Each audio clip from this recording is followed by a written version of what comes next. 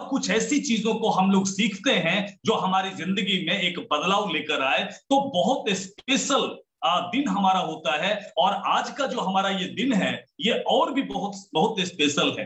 क्योंकि आज जो हमारे बीच में स्पीकर हैं, वो स्पीकर बहुत बहुत स्पेशल हैं। और डियर फ्रेंड्स आज से कुछ समय पहले मैंने यूट्यूब पर इनके कुछ वीडियोस मैंने देखे थे। और जब मैं उस वीडियोस को देख रहा था तो उस समय मैं सोच भी नहीं पा रहा था कि मेरे लाइफ में कभी ऐसा समय आएगा कि मैं उन्हें होस्ट कर पाऊँगा। लेकिन एक बार सोच आई हमने आपको कई बार सिखाया कई बार आपको बताया हम ऐसे बिज़नेस में हैं जिस बिज़नेस में आ, हमारा जो कॉन्सेप्ट होता है हम ये सोचते हैं कि बात करके देख लेते हैं पूछ के देख लेते हैं पूछने में क्या जाता है। और इसी क्रम में आ, सर को मैंने कॉल किया सर, हमारे साथ हमारी मतलब बच्चों से कनेक्टेड हैं और बहुत ज़्यादा मैं इनके बारे में नहीं जानता हूँ, मैं सिर्फ़ इतना जानता हूँ कि स्टूडेंट की काउंसलिंग करते हैं और काउंसलिंग करके मतलब एक सही दिशा में लोगों को ले जाने के लिए प्रेरित करते हैं और कम शब्द में अगर कहें तो राष्ट्र के निर्माण में अपना बहुमूल्य योगदान देते हैं। और डीएवी स्कूल मोकामा में हमारे दो बच्चे हैं, वो पढ़ते हैं और सर एक बार काउंसलिंग के लिए डीवी स्कूल आए थे और वहीं से कनेक्शन बनी थी। थोड़ी बहुत बातचीत हुई सर से और सर ने काफ़ी सहज स्वभाव के सर हैं इसलिए इन्होंने हमारे इस रिक्वेस्ट को एक्सेप्ट किया और आज हमारे बीच में है।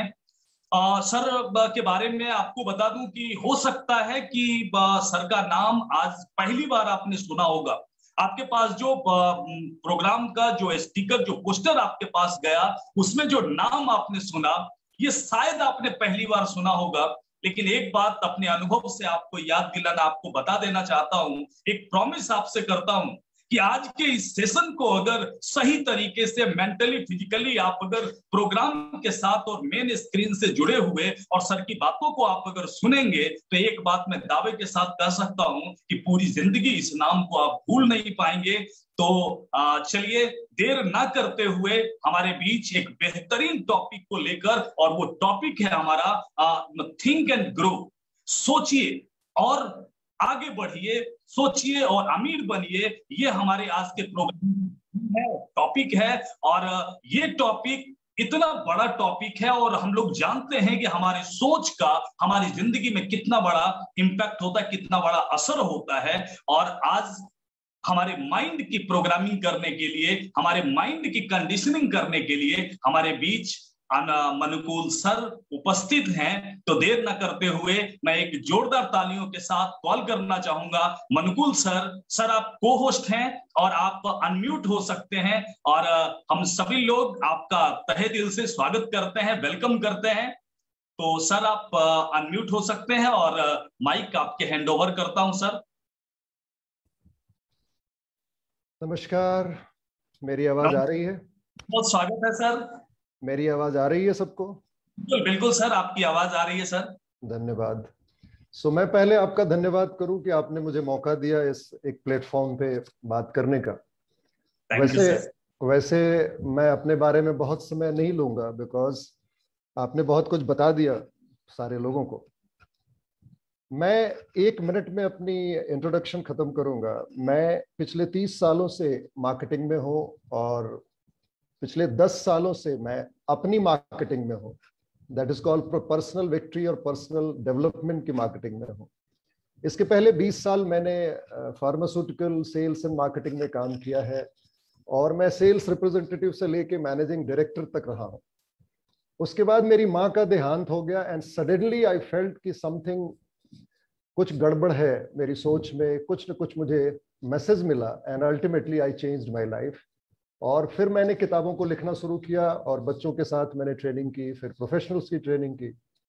एंड अल्टीमेटली आज मैं आपके सामने हूँ। आपने ठीक कहा कि सोच एक बहुत बड़ी चीज़ है। Thought is a very big thing in life एक आइडिया थॉट से बनती है और वो आइडिया सारी ज़िंदगी को बदल डालती है। जैसे आप जिस प्रोफेशन में है, ये केवल सोच का ही खेल है। अगर मैं बोलूँ कि आज एक बच्चे को ग्रूम करना हो या एक बिज़नेस को ग्रूम करना हो तो बिना सोच के हम एक कदम आगे नहीं बढ़ सकते। लेकिन सबसे बड़ी प्रॉब्लम है, क्या हम सोचते हैं? एक बार एल्बर्ट सेविटजर ने जो नोबेल प्राइज विनर है, उनसे किसी ने पूछा कि इस पूरे पृथ्वी का सबसे बड़ा प्रॉब्लम क्या है? मनुष्य इतना परेशान क्यों है? उन्होंने कहा, हँसते हुए कहा कि मेन सिंपली डोंट थिंक मनुष्य सोचना बंद कर चुका है। आज सोशल मीडिया पे आप चले जाएँ, आप देखें मनुष्य सोचना बंद कर चुका है। वो केवल पीछे पीछे घूमने वाला आदमी बन के रह गया है। दे डोंट थिंक एबल और एक बार जॉर्ज बर्नार्ड सॉ ने कहा, एक प्रेस के इंटरव्यू में, उन्होंने कहा कि only two percent people think three percent people think that they think and ninety five percent people rather die than think यानी केवल दो परसेंट लोग सोचते हैं, तीन परसेंट लोग सोचने का दिखावा करते हैं और 95 परसेंट लोग मर जाएँगे लेकिन सोचेंगे नहीं।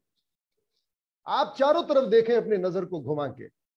ये गरीबी, ये बीमारी, ये सारे मारा मारी ये कारण क्या है? 95 परसेंट पीपुल डोंट थिंक तो सारी चीज़ों की जड़ थॉट में लेकिन आज मैं शुरू करूँगा कुछ एक नए चीज़ से कि थॉट के आगे की चीज़ से, चूँकि आप जितने लोग यहाँ हैं सेल्स और मार्केटिंग में है, इसलिए हम थोड़ा सा और आगे जानते हैं, हम सेल्फ कॉन्सेप्ट की बात करते हैं।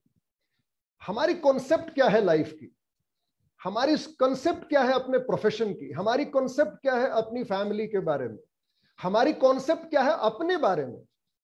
और जब तक हमारा अपना सेल्फ कॉन्सेप्ट नहीं है तब तक हम अपनी ज़िंदगी को सेप नहीं दे सकते। अगर मैं कहूँ कि मैथमेटिक्स एक कॉन्सेप्ट है, साइंस एक कॉन्सेप्ट है तो फिर मेरी लाइफ भी एक कॉन्सेप्ट है, बिकॉज़ मैं जो पैदा हुआ हूँ, एक साइंटिफिक प्रोसेस से पैदा हुआ हूँ। मैं ये नहीं कह सकता कि मुझे पैदा करने में कोई साइंस का काम नहीं रहा है, किसी बायोलॉजी का काम नहीं रहा है। माँ ने और पापा ने मिलके मुझे पैदा किया दैट वाज द कॉन्सेप्ट मैं 280 दिन माँ की पेट में रहा। दैट वाज अ कॉन्सेप्ट लेकिन वहाँ से जब मैं बाहर आया, वहाँ से मेरी सारी कॉन्सेप्ट प्रोग्राम की गई। यानी मैं अब अपने कॉन्सेप्ट से नहीं जी रहा हूँ, मैं किसी और के कॉन्सेप्ट से जी रहा हूँ। यानी मेरी मामा का, मेरे पापा का जो कॉन्सेप्ट था मेरे लिए that is prevailing on me that is guiding on me that is अभी आपने कहा कंडीशनिंग पे सारी चीज़ें चल रही हैं। सो so, वो कंडीशनिंग लगातार होती रही स्कूलों में कॉलेजेस में एनवायरमेंट में मेरी फैमिली में और वो कंडीशनिंग हमारी कॉन्सेप्ट को क्रिएट किया हमारी बिलीफ सिस्टम को क्रिएट किया। एंड अल्टीमेटली व्हाट हैपन कि हम एक ऐसे जगह पे आके खड़े हो गए जहाँ मैं डिसीज़न नहीं ले सकता अपने लिए। जहाँ मेरी डिसीज़न की लेने की कैपेसिटी करीब करीब खत्म हो गई क्योंकि हमारे ऊपर सारे समाज का, और आज आप देखें चारों तरफ़ तो सोशल मीडिया हमारी प्रोग्रामिंग कर रहा है, टेलीविज़न हमारी प्रोग्रामिंग कर रहा है, पॉलिटिकल सिस्टम हमारी प्रोग्रामिंग कर रहा है।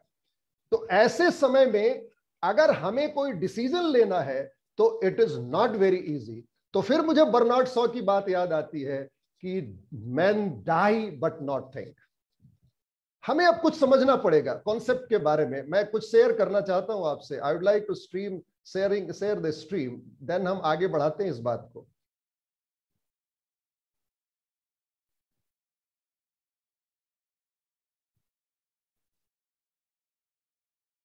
Just wait for this. I am coming to this point कि हमसे हम हम सेल्फ कॉन्सेप्ट को बिना चेंज किए I I cannot I cannot I I cannot rather change my life Neville Goddard जिनको मास्टर uh, कहा जाता है 1900 के आसपास अमेरिका में और वो मेटाफिजिक्स के मास्टर थे। उन्होंने कहा change your self concept but ये बिना चेंज चेंज कैसे करें हम?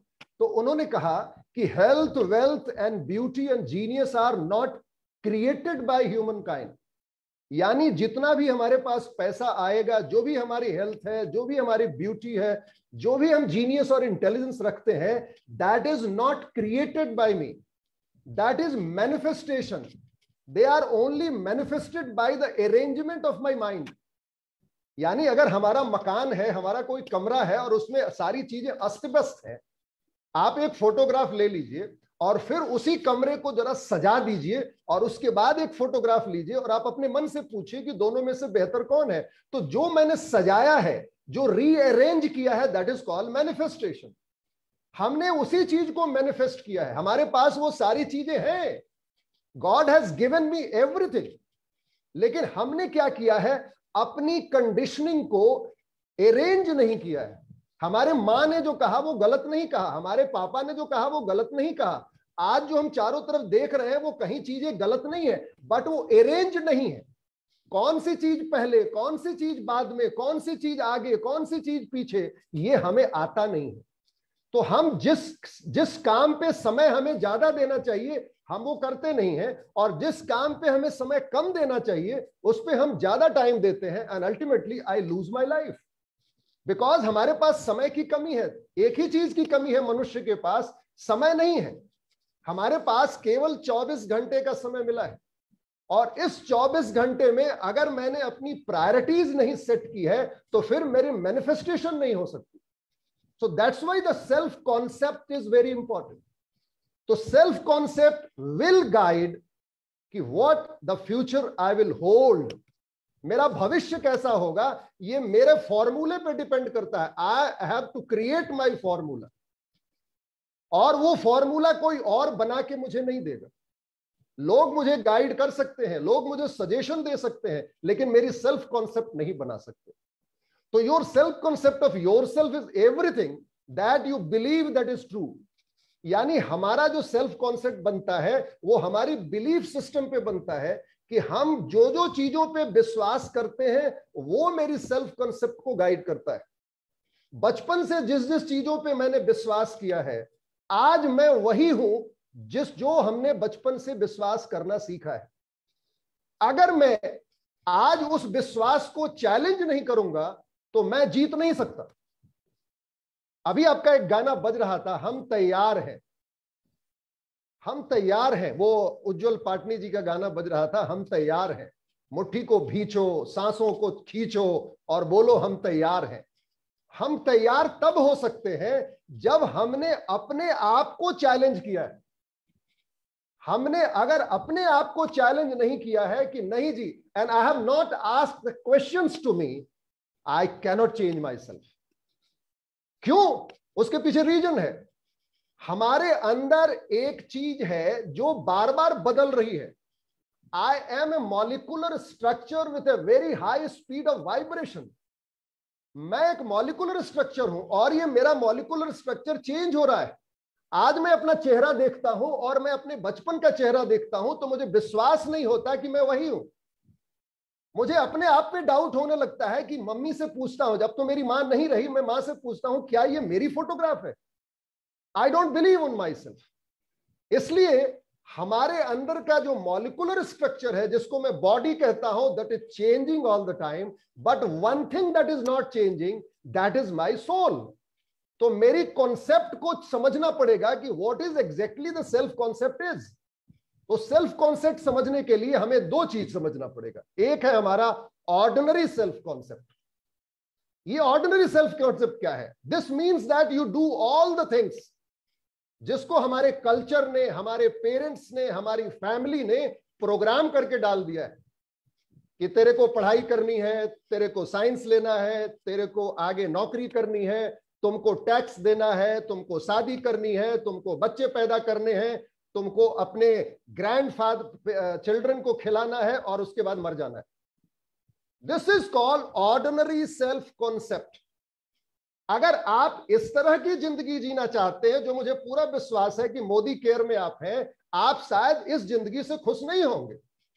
तो आपके पास एक दूसरा कॉन्सेप्ट आता है that is called extra ordinary self concept और एक्स्ट्रा ऑर्डनरी का नाम जैसे ही मैं लिया एक्स्ट्रा ऑर्डनरी का सीधा मतलब है एक्स्ट्रा देन ऑर्डिनरी यानी ऑर्डिनरी तो मैं हूँ, लेकिन थोड़ा ज़्यादा है एक्स्ट्रा मेरे में कुछ और ज़्यादा करने की इच्छा है। What is this this extra ordinary means it is not related to my physical body it is not related to my intellectuality. It is related to my soul that is not changing. Like my body मेरा जो शरीर बदल रहा है, उसके अनुसार ये नहीं बदलता। मेरी सोच उस स्पिरिट के साथ जुड़ी हुई है। उस सोल के साथ जुड़ी हुई है और वो इनविजिबल है। यानी ऑर्डनरी आदमी देख के काम करता है और एक्स्ट्रा ऑर्डनरी आदमी महसूस करके काम करता है। एक ऑर्डिनरी आदमी जो सामने कोई दिखा रहा है तो उसको देख के ताली बजाएगा, उसके ऊपर नाचेगा, उसके ऊपर खुश हो जाएगा, लेकिन जो एक्स्ट्राऑर्डनरी आदमी है वो अपने आप में महसूस करेगा कि what is wrong and what is right because he is directly connected to his soul तो एक्स्ट्रा ऑर्डिनरी जब तक हम नहीं बनेगा और एक बात और हमारा फ़िज़िकल जो अपियरेंस है, वो डिके कर रहा है, वो मर रहा है, वो एक्सपैंड नहीं कर रहा है। लेकिन हमारी सोल जो है इनविजिबल है, जिसको हम आत्म तत्व कहते हैं, वो कहता है, आगे बढ़ एक्सपेंशन में जा एक्सप्रेशन दे, अपने आप को सबको बता दे कि तू कौन है, अपने आप को बता कि तू ऐसा वैसा आदमी नहीं है, अपने आप को दिखा दे कि तू कौन है। ये बहुत मुश्किल से जीवन मिला है। इस जीवन में पीछे मत रह जाना बिकॉज़ सोल को डर नहीं लगता है डर लगता है माइंड को डर लगता है हमारे इंटेलेक्ट को डर लगता है हमारे शरीर को। सोल तो कहता है नहीं तू मरेगा ही नहीं तू तो अमर है। सो so, एक्सपेंशन चाहता है वो एक्सप्रेशन चाहता है। लेकिन 95 परसेंट लोग I am very sorry to say they did not and they don't express themselves सत्तर साल की ज़िंदगी है लेकिन हमेशा डर डर के जीना कोई रिस्क नहीं लेना। अपने आप में रहना और अपने आप को बताना कि मैं सक्सेसफुल हूँ। अपने आप को बड़ा बड़ा प्रोजेक्ट करना, लेकिन करना कुछ नहीं। That is not called self self concept means it is always related to my soul so what exactly it is but how can you change your self concept because मुझे ऑर्डनरी से extra ordinary आना है। आज पता चला कि मैं body से रिलेटेड काम कर रहा हूँ। मैं लोगों को देख के काम कर रहा हूँ। एल्बर्ट सेविटजर ने एक और बात कही थी। कि करज का उल्टा कन्फॉर्मिटी है। कन्फॉर्मिटी का मतलब होता है, वो कर रहा है, वही मैं भी करूँगा। कन्फॉर्मिटी का मतलब होता है पीछे पीछे चलना। कन्फॉर्मिटी का मतलब नहीं होता है कि हिम्मत लेके कोई नया रास्ता निकालना। करेज का मतलब होता है नहीं जी, रिस्क लेना, अपने आप को बताना। लेकिन ये कैसे होगा? ये होगा when I challenge my limits मैं जब अपनी लिमिट को चैलेंज करूँगा कि नहीं जी, मैं मर नहीं सकता मैं अमर हूँ। और कृष्ण ने अर्जुन को बार बार कहा यही बात। लेकिन कृष्ण की बात को समझते समझते बहुत समय लगा। यानी आप देखें तो पूरे महाभारत में आखिरी तक कृष्ण समझाने की ही कोशिश कर रहे हैं कि अरे तू युद्ध करना, मरना नहीं है तुझे। You are a mortal you are a spiritual being you are not going to die लेकिन वो समझा नहीं। लास्ट तक वो लड़ता रहा, अपने आप को आर्गू करता रहा, उनसे डिस्कशन करता रहा। हम भी यही करते हैं बेसिकली हम अंतिम समय तक ये प्रूफ करने की कोशिश करते हैं कि मैं ज़्यादा जानता हूँ। हम अंतिम समय तक अपने ईगो को ऊपर उठा के रखते हैं कि नहीं जी, मेरे से ज़्यादा कोई नहीं जानता। इसलिए आप देखेंगे, कोई किसी की सुनता नहीं। यानी हम इंटेलेक्चुअल लेवल पे अपने आप को कभी भी खोल के नहीं रखते। वाई आज हम उसकी पूरी की पूरी स्ट्रक्चर पे आएँगे। आज हम पूरी की पूरी डिसेक्शन करेंगे कि आखिर हमारे साथ ये होता क्यों है? हम जानबूझ के पागलपन क्यों करते हैं? मेरी माँ मरी, उस दिन मुझे पता चला। पाँच करोड़ का नुकसान हुआ था मुझे। मेरी फार्मास्यूटिकल कंपनी थी। मैं मैनेजिंग डायरेक्टर था। पर मंथ का बिज़नेस पाँच करोड़ रुपए था। चार बंगले थे, दिल्ली, कलकत्ता, जमशेदपुर, पटना मेरे ऑफ़िस थे अहमदाबाद से चारों तरफ़। बट वॉट हैपेंड मेरी एक गलत कॉन्सेप्ट ने मुझे रोड पे ला के खड़ा कर दिया। एक गलत concept and that concept was what कि मैं स्पिरिट नहीं हूँ, मैं इगो हूँ। मैंने किसी का बात मानना बंद कर दिया। मैंने शराब पीना शुरू कर दिया। मैंने सिगरेट पीना शुरू कर दिया। मैंने मैंने वो गुटखा खाना शुरू कर दिया। अब वो दिन में भी पीना शुरू कर दिया। अल्टीमेटली वोट हैपेंड मेरा जो मॉलिकुलर स्ट्रक्चर था, वो तो डिके के लिए बना है, वो खत्म होने के लिए बना है, और अल्टीमेटली मैंने अपने सोल को भी खत्म करना कर दिया। गांधी ने कहा था, शराब शरीर और आत्मा दोनों का नाश करती है। And ultimately what happened my company lockdown क्योंकि मैं डिसीज़न लेना भूल गया। शराब के नशे में गलत डिसीज़न लेना शुरू किया। माई कॉन्सेप्ट चेंज्ड जब मैंने वो ऑर्गेनाइजेशन की शुरुआत की थी तो मेरा कॉन्सेप्ट था कि मुझे दुनिया का सबसे बड़ा कंपनी बननी है। मुझे 600 लोगों को नौकरी देनी है। मुझे अपना, अपनी माँ को खुश करना है। अब वो कॉन्सेप्ट चेंज हो गया और वो कॉन्सेप्ट चेंज हो गया। जब पैसा आने लगा तो that concept change what concept is कि नहीं जी, मुझे तो गाड़ियाँ खरीदनी है। मुझे तो बंगले बनाने हैं। मुझे तो लोगों को दिखाना है। And ultimately I collapsed so हमें इस कॉन्सेप्ट को समझना पड़ेगा। अगर हम बिज़नेस में हो, चाहे हम पेरेंट हो, चाहे हम कोई नौकरी करते हो, हमें एक बात ध्यान से समझ लेना चाहिए कि अगर मेरा कॉन्सेप्ट उस स्पिरिट से अलग होता है अगर हम अपने बायोलॉजिकल वे में जीना चाहते हैं, हम स्पिरिचुअल वे को नहीं जानते हैं तो आई कैन गारंटी कि that success will be eluded you cannot become successful और अगर सक्सेस मिल गई तो you cannot hold it for a longer period of time आप ज़्यादा दिन तक सक्सेसफुल नहीं हो सकते, ये तय है। So again reminding you that everything you have believed to be true has brought you to this point आज तक जो आपने कॉन्सेप्ट बना के रखा है अपने लिए, उसी के चलते आप जो यहाँ हैं, अभी जिस हाल में है, वो आपके उस सेल्फ कॉन्सेप्चुलाइजेशन के चलते हैं। आपने जहाँ जहाँ जो जो बिलीव किया है, वो आपको यहाँ लाके पटक दिया है। आप दुखी हैं, उसके कारण आप हैं। आप खुश हैं, उसके कारण आप हैं। आपके पास बैंक में बहुत बड़ा पैसा है, उसके कारण आप हैं। अगर आप रो रहे हैं, बीमार हैं तो उसका कारण आप because that self concept is creating me neither God is creating भगवान को बाद में रखिए। बुद्ध ने कहा, ईश्वर को तो पीछे रख, अपने आप को आगे कर। आपने ईश्वर को आगे कर दिया और अपने आप को पीछे कर दिया। आई थिंक हम ये गलत फॉर्मूले पे जा रहे हैं। यानी बैल को आगे नहीं किया, हमने बैलगाड़ी को आगे कर दिया। हमें बैल है, मैं आगे रहूँगा। मेरा ईश्वर मुझे पीछे चलेगा। इसलिए हमें ध्यान रखना चाहिए इस बात को कि मैं आगे फोर फ्रंट पे चलता हूँ। Let me talk about my self what I am लेकिन जब मैं ये बात करता हूँ तो लोग क्या लोग क्या करते हैं? लोग कृष्ण की बात लेके आ जाते हैं कि अरे, अर्जुन के रथ पे तो कृष्ण सवार था। आगे आगे कृष्ण खड़े थे। अर्जुन तो पीछे थे। दोस्त, जब कॉन्सेप्ट बनाना होता है तो आप जरा ध्यान से देखिएगा कि कृष्ण कहाँ खड़े हैं और अर्जुन कहाँ खड़ा है। अर्जुन बैठा हुआ है, हाथ जोड़ के बैठा हुआ है और कृष्ण उस रथ से निकल के नीचे खड़े हैं।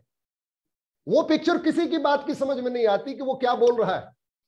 रथ की बात समझ में आती है। मैं जानता हूँ कि ये soul is leading my body I know लेकिन जब मुझे कुछ चेंज करना हो कॉन्सेप्ट को तो मुझे अपने आप के सामने ही झुकना पड़ेगा। अपने आप के सामने ही प्रार्थना करनी पड़ेगी। तो how can I do it let me see do you really think जो अभी मैं बोल रहा था two percent people think three percent people think that they think and ninety five percent people will rather die than they think George Bernard Shaw the novelist English novelist उन्होंने हँसते हुए कहा कि इस पृथ्वी पे दो परसेंट लोगों के पास 95 परसेंट वेल्थ है।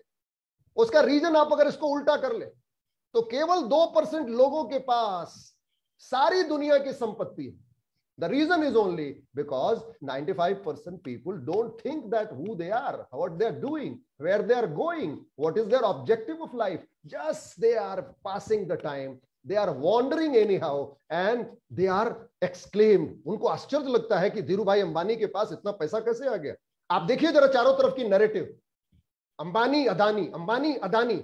आप समझ जाइएगा कि ये दो परसेंट का नाम आता है, बाकी किसी का नाम नहीं आता है। Why because these two percent people are thinking but वो नहीं सोच रहा है। रतन टाटा नहीं सोच रहा है।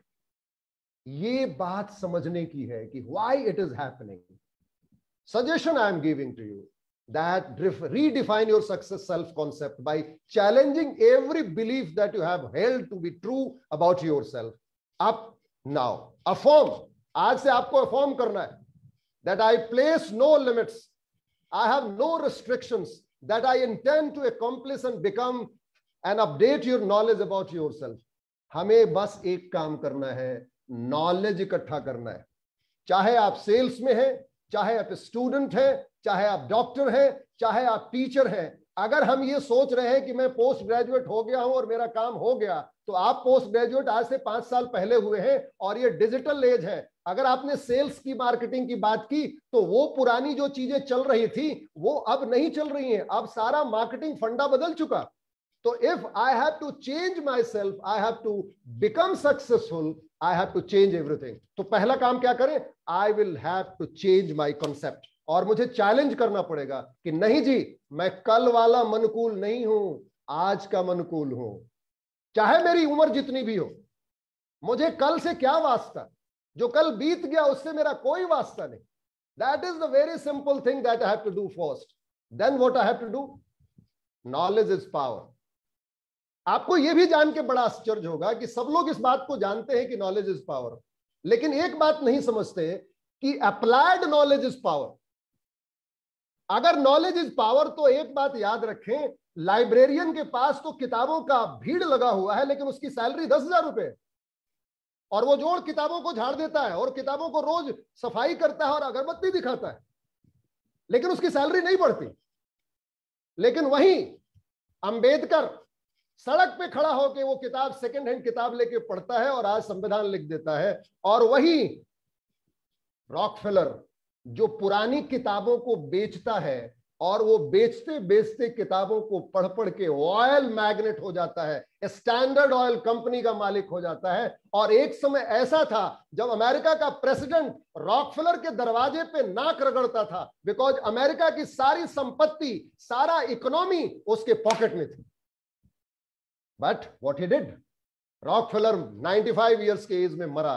और वॉट ही डिड उसने अपनी सारी संपत्ति अमेरिका को दे दी।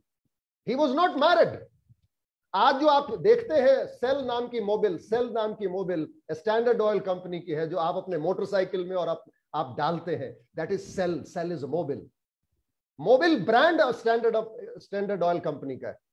आज से एक डेढ़ सौ साल पहले की बात मैं बता रहा हूँ। How he did knowledge but it is not knowledge it was applied knowledge यानी जो उसने सीखा किताबों से, जो उसने अपने गुरुओं से सीखा, अपने बड़े लोगों से सीखा, उसको अपनी ज़िंदगी में उतारा उसने। वो केवल पढ़ा नहीं डिग्री लेने के लिए, उसके पास कोई डिग्री नहीं थी। बचपन में उसके माँ बाप मर चुके थे। अल्टीमेटली वॉट ही डिड उसने सेकेंड हैंड किताबों को बेचने वाली कंपनी के यहाँ नौकरी की 20 डॉलर मिलता था। एंड वॉट डिड उसने बचाना शुरू किया पैसा। उसने एक एक पैसे को पकड़ा। एंड अल्टीमेटली एक दिन पेपर में उसने देखा कि एक ऑयल का कुआँ, एक एक तेल बनाने का कुआँ नीलाम हो रहा है। बीस हज़ार डॉलर उसकी प्राइस है। And he applied for it and he won it knowledge नहीं था। अप्लाइड नॉलेज था। इसलिए आपके पास तो नॉलेज हो सकता है, लेकिन आपने कितना एप्लीकेशन किया है? आपने कितना अपनी ज़िंदगी में डाला है? दैट विल बिकम पावर और एक बात और success is nothing but power her successful आदमी के पीछे पीछे पावर चलता है। आप कभी नरेंद्र मोदी को देखेंगे, वो चाय बेचने वाला था, चाहे जो भी उसके माँ पापा हो, जरा पीछे गाड़ियों का काफिला देखिए दैट इज़ पावर आप जरा देखिए उसके पावर आप आप सचिन तेंदुलकर को देखिए, आप विराट कोहली को देखिए, आप धोनी को देखिए, आप जितने भी लोग सक्सेसफुल हैं, आप केवल देखें पावर जैसे लगता हो बिजली जल रही है, जैसे लगता हो करंट लग रहा है that is the beauty of that success and वो पावर आती कहाँ से है? पावर आती है ऑर्गेनाइज्ड एफर्ट एफर्ट लगाते हैं हम। आप सेल्स में है मार्केटिंग में है, हम एफर्ट लगाते हैं। लेकिन एक दिन हम काम करेंगे दस घंटे और दूसरे दिन हम सो जाएँगे that is not organised effort organised effort का मतलब होता है, जितना भी नॉलेज मैंने इकट्ठा किया है that knowledge should be a structured knowledge और उसको मैं स्ट्रक्चर्ड करके मैं उसको अपने पूरे फ़ायदे के लिए, अपने ऑब्जेक्टिव के रियलाइजेशन के लिए मैं रोज उस पर काम कर रहा हूँ। That is called organised effort अपनी टीम के साथ काम कर रहा हूँ। मैं अपने मास्टर माइंड के साथ काम कर रहा हूँ तो how can it be done कैसे होगा? हमारा जो नॉलेज है, वो तीन स्फेयर पे है। मैं आज पूरी की पूरी डिसेक्शन कर दूँगा और मैं मैं मैं रिक्वेस्ट करूँगा, अगर आपको अच्छा लगे तो आप फीडबैक ज़रूर देंगे कि yes something I learn this is ये मैंने केवल किताबों को पढ़ के नहीं लिया है। मेरी माँ जब मरी तो मैं रोया नहीं था। मैं जानता था मेरी माँ मरेगी। क्योंकि बचपन से मेरी माँ ने कभी शराब पीने की ट्रेनिंग नहीं दी थी। मैं एक टीचर का बेटा था। मैं क्लासेस में फ़र्स्ट आता था। मुझे याद है, जब मेरी माँ ने मुझे फ़ोन किया था, मैंने सुना है तू शराब पीने लगा है। मैंने कहा सॉरी माँ। मैंने कहा सॉरी कहने से तेरा काम हो जाएगा। मैंने तो तुझे कभी शराब पीना सिखाया नहीं, मेरे बच्चे। तो तू शराब कैसे पीने लगा? मैंने कहा, माँ, दोस्तों ने सिखा दिया, माँ। माँ ने एक ही शब्द कहा था, यानी मेरे प्यार में और तेरे दोस्तों के प्यार में तेरे दोस्तों का प्यार जीत गया। यानी मेरा जो मेरा जो संस्कार था, मैंने जो तुझे बताया था, वो वो हार गया। यानी मैं इतनी कमज़ोर हो गई तेरे सामने। मैंने तेरे से बारे में क्या क्या सोचा था, तूने सब कुछ खत्म कर दिया। बस अपने दोस्तों के लिए। दैट आई से कि दैट एक्सपीरियंस जहाँ से मैं गिरा। मेरे पास एक दिन याद है जब मेरे पॉकेट में दस रुपए थे और मैं रेलवे स्टेशन दिल्ली में अपने पूरे परिवार के साथ बैठा था और जितने दोस्त थे वो सब भाग चुके थे और जितने रिश्तेदार थे सब खत्म हो चुके थे। यानी सबने मेरा फ़ोन उठाना बंद कर दिया था। मैंने वहाँ से सीखा, ओहो this is call life then I change the concept कि नहीं, मुझे पढ़ना है, मुझे नॉलेज लेना है। I went to Shri Shri Ravishankar Bangalore गया। मैंने गुरु जी का पैर दबाया। मैंने कहा कि मैं बहुत परेशान हूँ, शराब के नशे में था, क्योंकि मुझे डर लगता था, मैं डिप्रेशन में था। मेरी माँ के अलावा मेरे ज़िंदगी में कोई नहीं था। वॉट गुरु जी ने कहा, सर पे हाथ रखते हुए, पीछे का दरवाज़ा बंद कर। पीछे का दरवाज़ा बंद कर। तू पीछे जा रहा है। कि तेरी माँ को क्या हुआ? तेरे दोस्तों ने तेरे साथ क्या किया? तेरे बिज़नेस में क्या क्या सारी चीज़ें हुई? बंद कर अपने मन के पीछे के दरवाजे को और आगे की खिड़की खोल। Because last past is past has gone you don't have to think about what is happen तुझे पीछे बंद करना पड़ेगा। मैंने कहा, इतना आसान नहीं है गुरुजी, मैं बहुत कोशिश कर रहा हूँ। उन्होंने कहा, बस, ध्यान में जा। मैंने कहा, शराब पीता हूँ, मन में बार बार मन करता था आप शराब पीने का। बोला, उसकी तरफ़ छोड़ दे, शराब पीना अपने आप बंद हो जाएगा। तू ध्यान तो कर। तू जो मैं कह रहा हूँ, उसको कर। मैंने ध्यान करना शुरू किया, सुदर्शन करना शुरू किया, सांसों को करना शुरू किया भस्रिका शुरू किया पाँच दिन के बाद मुझे शराब पीने की आदत अपने आप छूट गई। मैंने कहा, मेरे में इतनी ताकत है कि मैं कुछ भी छोड़ सकता हूँ, मैं कुछ भी कर सकता हूँ। उस दिन से विश्वास बढ़ना शुरू किया। I started doing Sudarshan Kriya, फिर एडवांस क्रिया। मैंने अब किताबों को पढ़ना शुरू किया। I started reading all the philosophers I started reading Buddha I started reading Gandhi मेरे पास एक लाइब्रेरी है जिसमें कम से कम हज़ार किताबें हैं। मैं किसी से मतलब नहीं। आज 10-12 साल हो गए मेरी माँ को गए हुए 2009 में मैंने दोस्ती बनाना बंद कर दिया। मैंने अब एक काम शुरू किया है, ये किताबें मेरी दोस्त है। मेरे पास गुरु जी है, वो मेरे दोस्त है। और मेरा ईश्वर मेरा दोस्त है। और मेरा ऑब्जेक्टिव जो मुझे अचीव करना है, जो मैंने कसम दिलाई है अपने माँ को, अपने ईश्वर को that is my objective in life because I know कि 24 घंटे के अलावा मेरे पास कोई चीज़ नहीं है। पता नहीं कब मृत्यु आ जाए। मैं इस कोरोना काल में मैंने देखा है ऐसे ऐसे लोगों को जाते हुए कि मन में विश्वास नहीं होता है। आई डोंट इवन एक्सपेक्ट जो रोज न्यूज़ आती है, मेरे क्लास के कितने बच्चे खत्म हो गए, जो देखने में हट्टे कट्टे थे, ईश्वर ने मुझे बचा लिया। इसका मतलब इसका मतलब शायद किसी बड़े काम के लिए बचाया है। अगर आप बचे हुए हैं इस कोरोना की महामारी में, आपसे ईश्वर को चाहता है। बिकॉज़ जिसको नहीं चाहता था, उसको ले गया वो। बिकॉज़ इस पृथ्वी पे वो नहीं रह सकता जो बिना पर्पस के हो।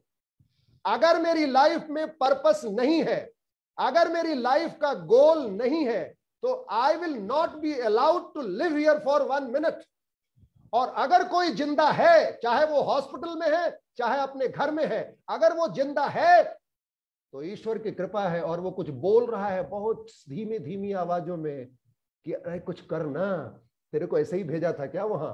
अरे तो कुछ करता क्यों नहीं? Why not you're doing something लेकिन वो सुन नहीं रहा है। Why because self concept he is not willing to change उसकी कंडीशनिंग इतनी स्ट्रांग हो चुकी है। तो ये तीन स्फेयर है। That is first is physical sphere the second is intellectual sphere and the third is spiritual sphere आप एक बात समझ ले। I am not a human being I am a spiritual being having an intellectual mind and I'm living with physical body. मैं एक spiritual being हूँ, मैं आत्मा हूँ, मैं ईश्वर तत्व हूँ, और वो रहता हूँ अपने फ़िज़िकल बॉडी में। और एक बात और, मेरे पास एक मन है इंटेलेक्चुअलिटी जो मुझे सोचने के लिए ताकत दिया है ईश्वर ने। इस बात को अगर हम आज नहीं समझ पाए तो शायद बहुत मुश्किल होगी। और spirit is available evenly present at all the places at all the time मुझे मुझे बचपन में क्या सिखाया गया? टॉयलेट जाते हो, वहाँ भगवान का नाम मत लेना, गंदी जगह है। मैंने कहा, इसका मतलब वहाँ भगवान नहीं होना चाहिए। लेकिन मैंने तो पढ़ा कि spirit is available all the places at all the time with even evenly present यानी हर जगह बराबर प्रेजेंट है, चाहे पहाड़ हो, चाहे नदियाँ हो, चाहे मेरा टॉयलेट हो, चाहे मेरा बेडरूम हो, चाहे मेरा किचन हो, चाहे चाहे चाहे मैं गड्ढे में हूँ, कहीं भी हूँ, झोपड़ी में हूँ पहल पलंग में हूँ मेरे पास तो वो स्पिरिट हर जगह अवेलेबल है। क्या मैं ये बोलूँ कि मैं टॉयलेट में सांस नहीं लेता? क्या मैं ये बोलूँ कि मैं किचन में जाता हूँ तो सांस नहीं लेता? तो जहाँ मैं सांस ले सकता हूँ, वहाँ स्पिरिट है। और जहाँ सांस नहीं ले सकता, वहाँ भी है। उसको कहते हैं ईथर जहाँ पे ऑक्सीजन और नाइट्रोजन का लेवल खत्म होता है 100 किलोमीटर ऊपर के जाके स्पेस कहते हैं, और वो स्पेस नहीं है, वो इथर है। और इथर का मतलब फ्लूड एनर्जी, जिसको हिंदी में कहते हैं अक्षय, जिसको बोलते हैं जिसका क्षय नहीं हो। और उसी से हम बने हम जब सांस लेते हैं तो I am not only breathing oxygen and nitrogen I am breathing ether इसका मतलब सर इसका मतलब बड़ा सीधा है, मैं पूरे ब्रह्मांड को सांस लेता हूँ। मेरे अंदर वो अक्षय एनर्जी है, मेरे अंदर वो अन एडल्टरेटेड एनर्जी है, जिसमें कोई मिलावट नहीं। फिर भी मैं बीमार हूँ, फिर भी मेरा मन नहीं लगता है, फिर भी मुझे अपने गोल के प्रति कोई संवेदना नहीं है।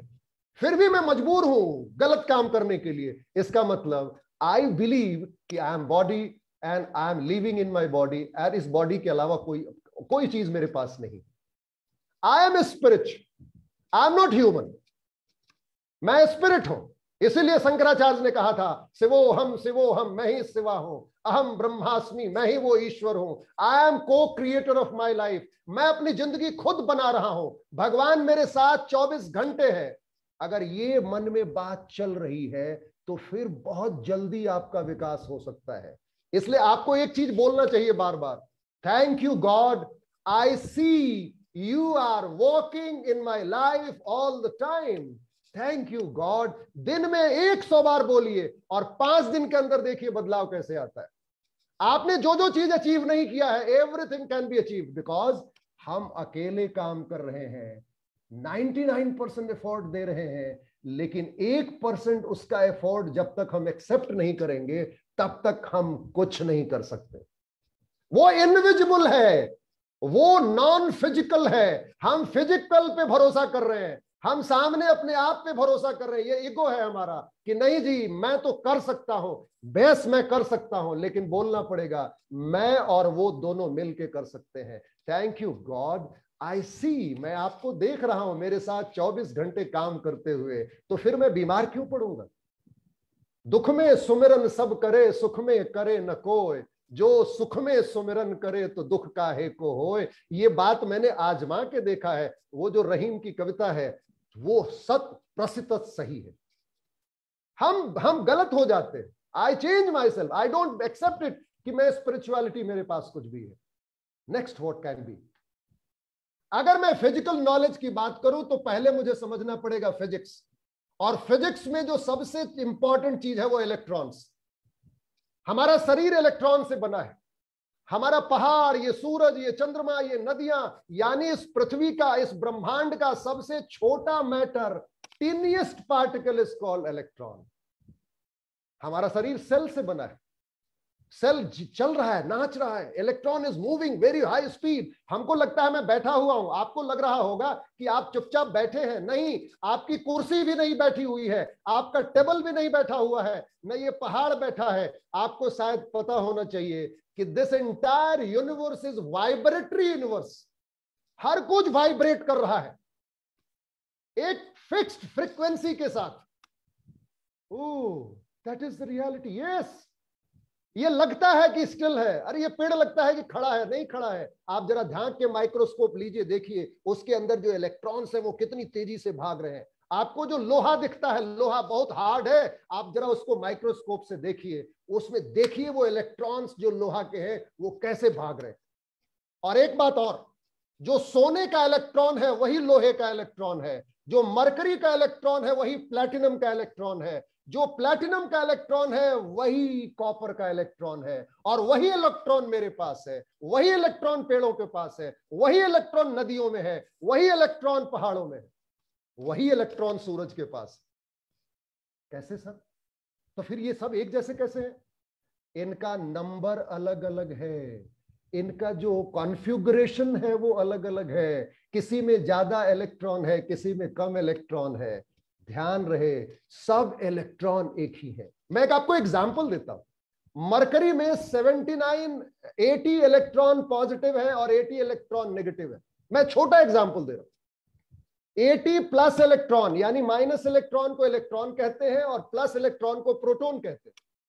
लेकिन अब पुराने जमाने में लोग कहते थे इलेक्ट्रॉन उसके ऊपर माइनस चार्ज है और एक के पास प्लस चार्ज है। ये बाद में 1976 के आसपास ये प्रोटोन नाम आया। Ultimately it was earlier known as electrons 80 electrons minus and 80 electron plus combination means mercury बन गई।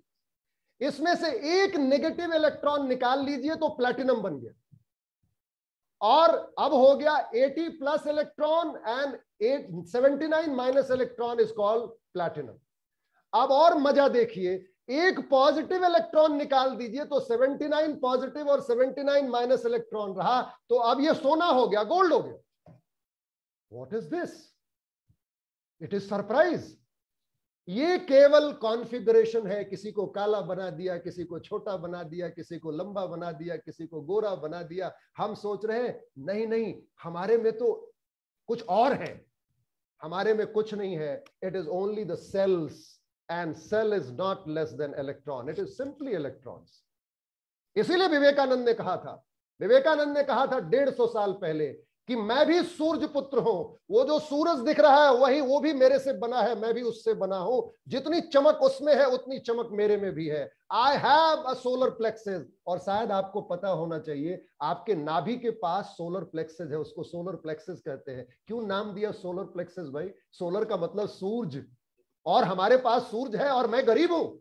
हमारे पास सूरज है और मुझे सेल करने नहीं आता, मुझे कस्टमर से मिलने नहीं आता, मुझे अपने पैसे को बढ़ाने नहीं आता। It means what it means something wrong with my thought process why because एक बायोलॉजी का एक बड़ा इंपॉर्टेंट चैप्टर है।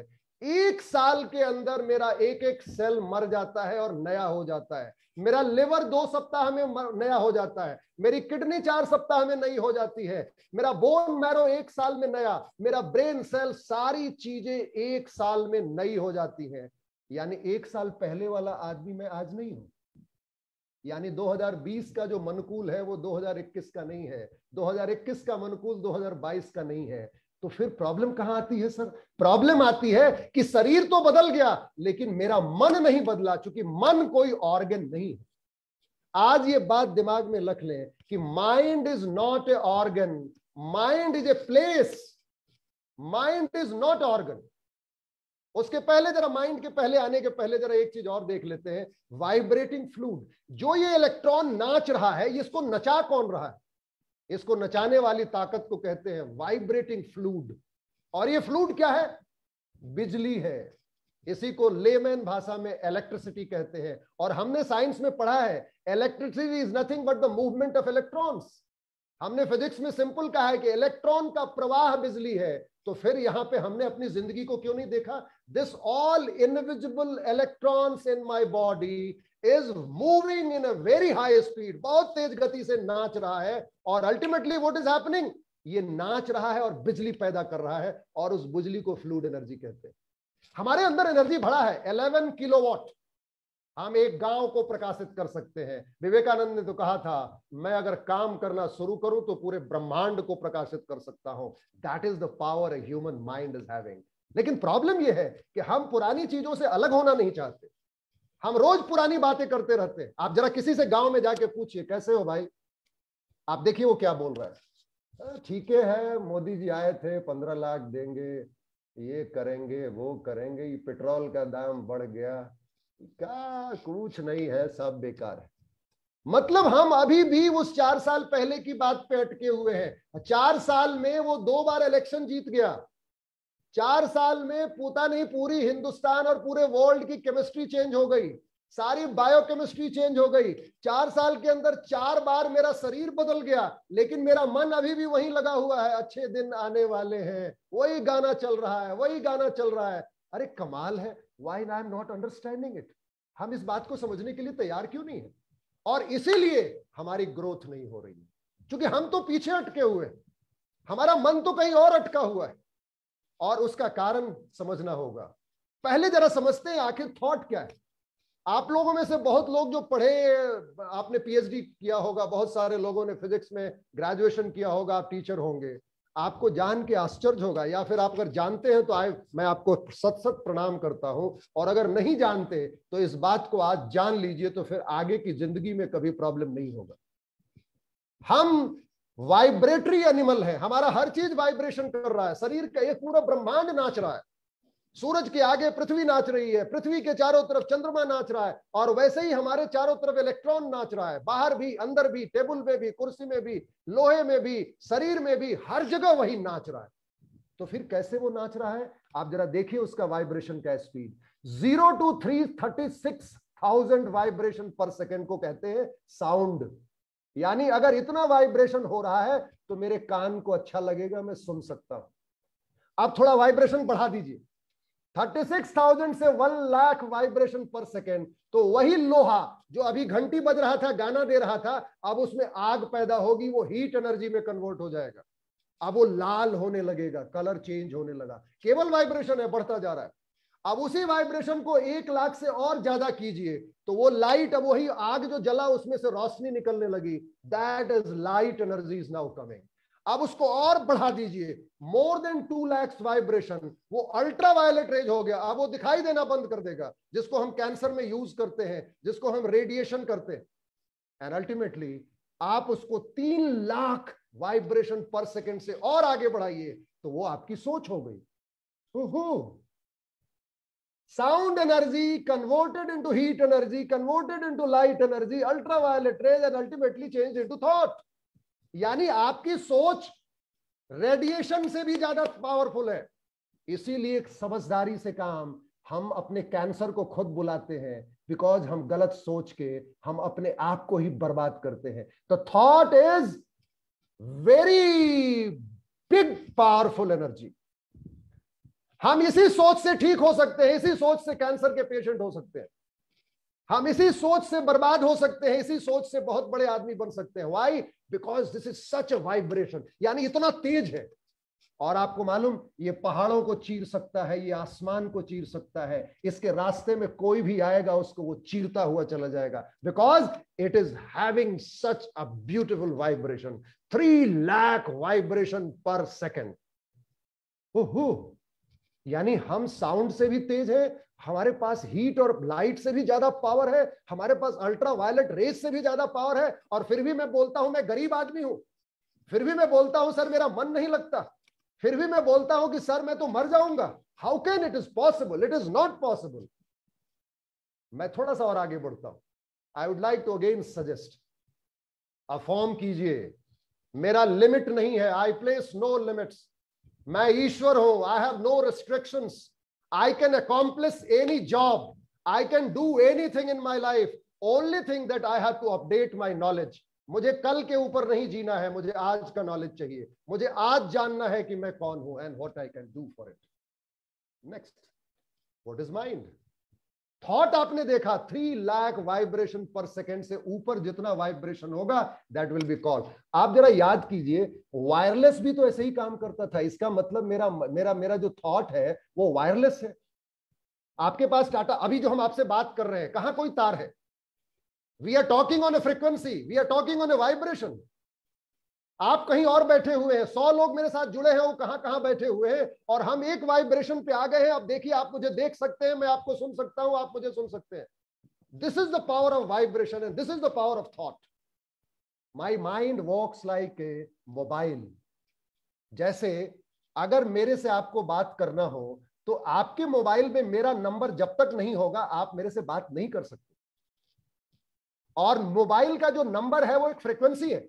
और एक नंबर दो आदमी को नहीं मिलेगा चाहे वो वोडाफोन हो, चाहे वो जियो हो, चाहे आप अमेरिका के हो, चाहे वो इंग्लैंड के हो every mobile number is a different number और अगर मैं एक बार आपका नंबर मेरे मोबाइल में आ गया तो I can send you a WhatsApp I can talk to you I can hear music I can I can walk on Zoom. I can do anything. Why? Because I am on a frequency. तो फिर अगर किसी customer से मुझे बात करनी है तो मुझे फ्रीक्वेंसी पे आना पड़ेगा। अगर मुझे किसी डॉक्टर से बात करनी है तो मुझे फ्रीक्वेंसी पे आना पड़ेगा। And that is called law of vibration law of attraction law of attraction means what लोगों ने लॉ ऑफ़ अट्रैक्शन बहुत पढ़ा है, लेकिन किसी ने समझा नहीं। Law of vibration is the first law और वो पहला लॉ कहता है कि एवरीथिंग इज़ वाइब्रेशन मेरी पत्नी वाइब्रेट कर रही है, मेरा बेटा वाइब्रेट कर रहा है, मैं भी वाइब्रेट कर रहा हूँ। और वो वाइब्रेशन जब तक एक लेवल पे नहीं आएगा, तब तक मारपीट होगी, तब तक डिफरेंस ऑफ़ ओपिनियन होगा, तब तक कोई बात किसी के समझ में नहीं आएगी। बिकॉज़ हम एक फ्रिक्वेंसी पे नहीं है। तो फिर हमारा कस्टमर अगर हमारी फ्रिक्वेंसी पे नहीं है तो I cannot sell my product I cannot convince it mind is what कहो, बहुत लोग समझ जाते हैं कि माइंड और ब्रेन दोनों एक ही चीज़ है। बहुत बड़ा गलत फहमी है। Mind is not a organ mind की फ़ोटो नहीं बनाई जा सकती। ब्रेन की फ़ोटो बनाई जा सकती है। आप जो भी फ़ोटो देख रहे हैं, वो ब्रेन की फोटोग्राफ है। It is not the photograph of mind mind मेरे चारों तरफ़ घेरे हुए है। यानी मैं बोलू, मेरा शरीर मन के अंदर है। माइंड का कोई फिक्स्ड प्लेस नहीं है। Mind is a place where thought is coming mind is a place where thought is bombarding the movement of thought is called mind यानी मेरा मेरा सोच जहाँ चल रहा है, वो जो चलने की जगह है दैट इज़ कॉल्ड माइंड इसीलिए बहुत सारे डाउट्स है। Brain is what brain is a broadcasting and receiving station ये टाटा स्काई है ब्रेन टाटा स्काई की फ्रीक्वेंसी है ब्रेन फ्रीक्वेंसी पकड़ता है। और हम इसी को टेलीपैथी भी कहते हैं। आप मेरी बात समझ सकते हैं, मैं आपकी बात समझ सकता हूँ। It is only because of brain is receiving the frequency आप कितनी बार देखे होंगे कि आप कुछ सोच रहे हैं और उस आदमी का फ़ोन आ गया इसका मतलब he is on the same frequency he is also thinking for you and you are also thinking for him So you are on same frequency. The telepathic rule is working there, and you got it. My brain has catch that frequency. मेरा brain कुछ नहीं करता है frequency को catch करता है एक बात और जितने लोग मरे हैं इस पृथ्वी पे ये साइंस शायद बहुत लोग नहीं जानते हो ये मैं भगवत गीता से कोट कर रहा हूँ, जितने लोग इस पृथ्वी पे आए हैं, सबकी सोच इस पृथ्वी पे है। लाखों साल पुरानी पृथ्वी पे ये सोच है, और वो सब वो सोच उड़ रही है, सब सोच वाइब्रेट कर रही है बिकॉज़ हर सोच का एक फ्रिक्वेंसी है, हर थॉट का एक फ्रिक्वेंसी है। अब आप जो बनना चाहते हैं, वो बात यहाँ डाल दीजिए, उस फ्रिक्वेंसी पे आ जाइए। वो सारी सोच जो उड़ रही है, जो चारों तरफ़ पिक्चर सारी चीज़ें, वो डाउनलोड हो जाएँगी और आप जीत जाए। आप जो चाहते हैं, वो बन जाए। That is a very simple thing मेरा ब्रॉडकास्टिंग और रिसीविंग स्टेशन है brain so what is next mind is an invisible fluid energy invisible है, दिखता नहीं है माइंड जैसे सोल नहीं दिखता, आत्मा नहीं दिखती, वैसे ही ये माइंड भी नहीं दिखता. ब्रेन दिखता है बिकॉज़ ब्रेन क्या है? इलेक्ट्रिकल स्विचिंग स्टेशन है. ये क्या होता है मालूम? जैसे हम सोचते हैं, वैसे हमारे ब्रेन को मैसेज जाता है. ब्रेन सेल्स एक्टिवेट होती है और वो स्पाइनल कॉर्ड को मैसेज देती है और फिर सारे शरीर में एक्टिवेशन शुरू हो जाता है. And ultimately I start walking and start taking decision यहाँ से फ्रिक्वेंसी कंट्रोल होती है. आप यहाँ से दुख का बात सोचिए आपकी फ्रिक्वेंसी धीरे से गिर जाएगी, आपको लगेगा दुख हो रहा है, मन नहीं लग रहा है। आप थोड़ा सा हँसी का बात सोचिए ब्रेन को मैसेज जाएगा ब्रेन रिसीव करेगा and ultimately start laughing that is the simple thing that brain works we have to mind ये फ़ोटो मैंने इंटरनेट से जानबूझ के निकाला है, ये शायद आपने फोटोग्राफ देखा होगा। Conscious mind and subconscious mind अब जरा ध्यान से देखिए कॉन्सियस माइंड केवल 10 परसेंट है, जो विश्व से जुड़ा है, ब्रह्मांड से जुड़ा है और सबकॉन्सियस माइंड पूरे यूनिवर्स से जुड़ा है। यानी आपके शरीर के एक एक सेल में कौन है? कॉन्सियस माइंड नहीं है। सब कॉन्सियस माइंड है। यानी मैं जो सांस ले रहा हूँ कॉन्सियस माइंड के चलते नहीं ले रहा हूँ सब कॉन्सियस के चलते ले रहा हूँ। मेरा हार्ट बीट, मेरा सारा चीज़, मेरा एक एक सोच, मेरे एक एक सेल, ये सब कॉन्सियस माइंड के पास subconscious mind is the most powerful organ of our body इसके जिम में मेरी किस्मत है। जो इस सबकॉन्सियस माइंड में मैंने भेज दिया, वो मेरी ज़िंदगी बना देगा। बट ये कैसे होगा? How can how it is possible अब यहाँ फॉर्मूला है।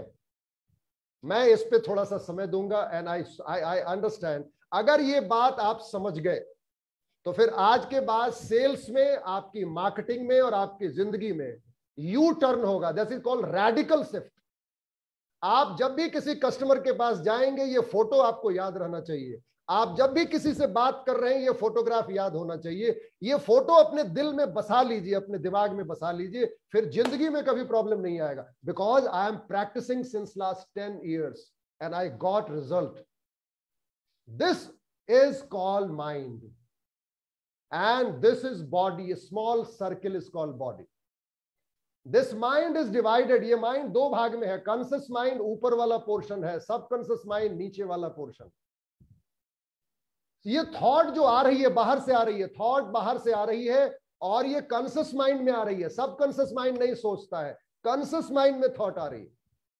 और शेक्सपियर ने जो कहा, उसको याद रखें, कोई भी सोच नेगेटिव और पॉजिटिव नहीं होती।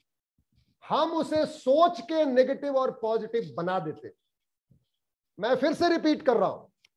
जो भी सोच मेरे कॉन्सियस माइंड में आ रही है it is not negative and positive अगर कोई गलत सोच भी आ रही है तो वो शब्द है, वो एक वाइब्रेशन है, वो एक फ्रीक्वेंसी है। हम उस फ्रीक्वेंसी को अपने पहले वाली फ्रीक्वेंसी से जोड़ देते हैं और हम उसको नेगेटिव और पॉजिटिव बना देते हैं। यानी जो पुरानी मेरी सोच है, उसके साथ में जोड़ने लगता हूँ। Thought is neither negative nor positive I make it negative and positive by thinking because ये दुनिया बाइपोलर है। इलेक्ट्रॉन है तो प्रोटॉन भी है। मैं अगर ये किताब दिखाऊँ तो ये किताब देखें, ये किताब का फ्रंट है तो ये किताब का बैक है। अगर मैं फ्रंट को हटाऊँगा तो बैक भी हट जाएगा। ये किताब का अंदर है तो ये किताब का बाहर है। अगर मैं अंदर हटाऊं तो बाहर भी हट जाएगा। दैट इज़ कॉल्ड बाइपोलरिटी अगर मैं इसको यहाँ से काटूं तो ये भी कटेगा, ये भी कटेगा। अगर मैं यहाँ से काटूं तो भी कटेगा टॉप एंड बॉटम तो दैट इज़ कॉल्ड बाइपोलर यानी मैं नेगेटिव हटाऊँगा तो पॉजिटिव भी हटेगा। आप बोल रहे हैं इस पृथ्वी से दुख और गरीबी क्यों नहीं जा रही है? अगर मैं दुख और गरीबी को हटा दूँ तो सुख भी खत्म हो जाएगा। आप बोल रहे हैं कि हर आदमी खुशी क्यों नहीं है? सुख क्यों नहीं? अरे नहीं हो सकता। It is not universal law हर आदमी बीमार क्यों है? तो फिर कोई स्वस्थ नहीं रहेगा। ये हॉस्पिटल क्यों बनाए जा रहे हैं? अरे, हॉस्पिटल नहीं रहेंगे तो फिर प्रॉस्पेरिटी भी नहीं रहेगी। अरे, ये बिज़नेस में ये लाभ हो गया तो फिर हानि भी नहीं रहेगी। आप कोई भी चीज़ हटा नहीं सकते बिकॉज़ इट इज़ आप बोल रहे हैं कि रात को हटा दो तो दिन भी हट गया। आप बता दो सूरज को हटा दो तो पृथ्वी भी हट गई। नथिंग आई कैन चेंज इसलिए बाइपोलर है। अब हम क्या कर रहे हैं? हमारी थॉट यहाँ अंदर आ रही है कॉन्सियस माइंड में। अब हम उस सोच को बार बार सोच रहे हैं बार बार सोच कर रहे हैं। इसको कहते हैं लॉ ऑफ़ रिपीटेशन हम बार बार सोच रहे हैं, मैं बार बार सोच रहा हूँ, मैं बार बार सोच रहा हूँ, और उसको नेगेटिव और पॉजिटिव आइडिया में कन्वर्ट कर दिया। अब ये आइडिया क्या होगा? जो डिसाइड कर लिया है मैंने वॉट एवर आई डिसाइडेड जिसको बार बार सोच के सोच के सोच के डिसाइड कर लिया, वो सबकॉन्सियस माइंड में चला गया। और by the way subconscious mind is a emotional mind यानी सारा इमोशन सारा एनर्जी इसी में भरा पड़ा है, और वो थॉट के साथ आइडिया के साथ मेरा इमोशन जुड़ गया। I am impressed by that emotion और वो इमेज बन गया नाउ अब फ़ोटो बन गया। और जैसे फ़ोटो बना वाइब्रेशन स्टार्टेड और एनर्जी यहाँ सबकॉन्सियस में थी, वो वाइब्रेशन स्टार्ट हुआ और वाइब्रेशन बॉडी में हुआ। Body is nothing but a centre of vibration body महसूस करता है दुख को, सुख को। बॉडी का अपना एग्जिस्टेंस नहीं है। Body is the instrument of mind instrument है ये। अब जैसे यहाँ वाइब्रेशन हुआ, अगर मैंने नेगेटिव आइडिया को लिया था तो नेगेटिव वाइब्रेशन हुआ और हमने नेगेटिव काम शुरू किया, हम हॉस्पिटल पहुँच गए। हमने अगर पॉजिटिव आइडिया को लिया था तो पॉजिटिव इमेज बना पॉजिटिव वाइब्रेशन हुआ पॉजिटिव एक्शन हुआ, मेरे ज़िंदगी में रिज़ल्ट अच्छा हुआ एंड आई बिकम सक्सेसफुल अब आप इस फॉर्मूले को जहाँ लगाना है लगा सकते हैं। आपको जितना पैसा चाहिए, आपको जितना सब चीज़ चाहिए, आप इस आइडिया में डाल दीजिए। थिंक एंड ग्रो रिच मैंने एक किताब पढ़ी, नेपोलियन हिल की, शायद आप लोगों ने भी बहुत पढ़ी होगी। थिंक एंड ग्रो रिच में क्या कहा? कितना पैसा चाहिए डिसाइड करो। ये मत कहो कि लॉट ऑफ़ मनी चाहिए। बोलो मुझे दस लाख चाहिए। उसके बाद उन्होंने कहा, कौन से डेट को चाहिए? बोलो, आज से दो महीने, साठ दिन का समय दो, इसको साठ दिन लगते हैं, इसको नब्बे दिन लगते हैं। आप जरा दो उस थॉट को क्लियर होने में, मुझे 31 जुलाई को पाँच लाख रुपए चाहिए। आप उसको डेट डालो। You just put a date अब वो डेट डाला गया that has become your idea मुझे थर्टी फ़र्स्ट जुलाई तक इतना बिज़नेस करना है दैट हैज़ बिकम आइडिया अब आपको क्या करना है? रिपीट करना है। You have to repeat it repeat it repeat it लिख के, अपने आँखों के सामने, टेबल के सामने लख के बड़ी बड़ी जिठों में लाल, पीले ढंग से सजा के, आप अपने बोर्ड में लख डालिए कि चारों तरफ़ वही दिखे। पतंजलि ने क्या कहा? विवेकानंद ने क्या कहा? कोई भी आइडिया अगर मेरे एक एक सेल में पेनिट्रेट कर जाए तो फिर वो यूनिवर्स का प्रोडक्ट हो जाता है। और फिर मेरा काम नहीं होता वो यूनिवर्स का है। वो अपने आप ला के देता है। Because I have created that frequency मैंने वो फ्रीक्वेंसी क्रिएट कर दी। नाउ सी वॉट हैपेंस आपने यहाँ रखा कि मुझे आ, इस महीने इतना बिज़नेस करना है। आप उसको बार बार बोलिए मन में। You have to just repeat it repeat it law of repetition अब वो यहाँ पे इमोशन में आ जाएगी। अब वो इमोशन से इमेज बन जाएगा। और आप फील कीजिए कि वो चीज़ हो रहा है। Ultimately vibration start vibration will start action ये कंपेल एक्शन यानी आपको बैठने नहीं देगा वो आइडिया वो इमेज बैठने नहीं देगी। अब आप बेचैन हो जाएँगे। अब वो डिज़ायर बन जाएगा। अब वो विश नहीं रहा। चाहत नहीं रही। अब वो डिज़ायर बन गई है। What will do that action will produce results यहाँ एक बहुत बड़ी बात है जो मैं आज बताने की कोशिश कर रहा हूँ। अगर कोई थॉट आ रही है, जो थॉट आपके रिज़ल्ट को डिस्टर्ब कर रही है, यानी आपको नीचे ले जा रही है तो उस थॉट को रिजेक्ट कीजिए।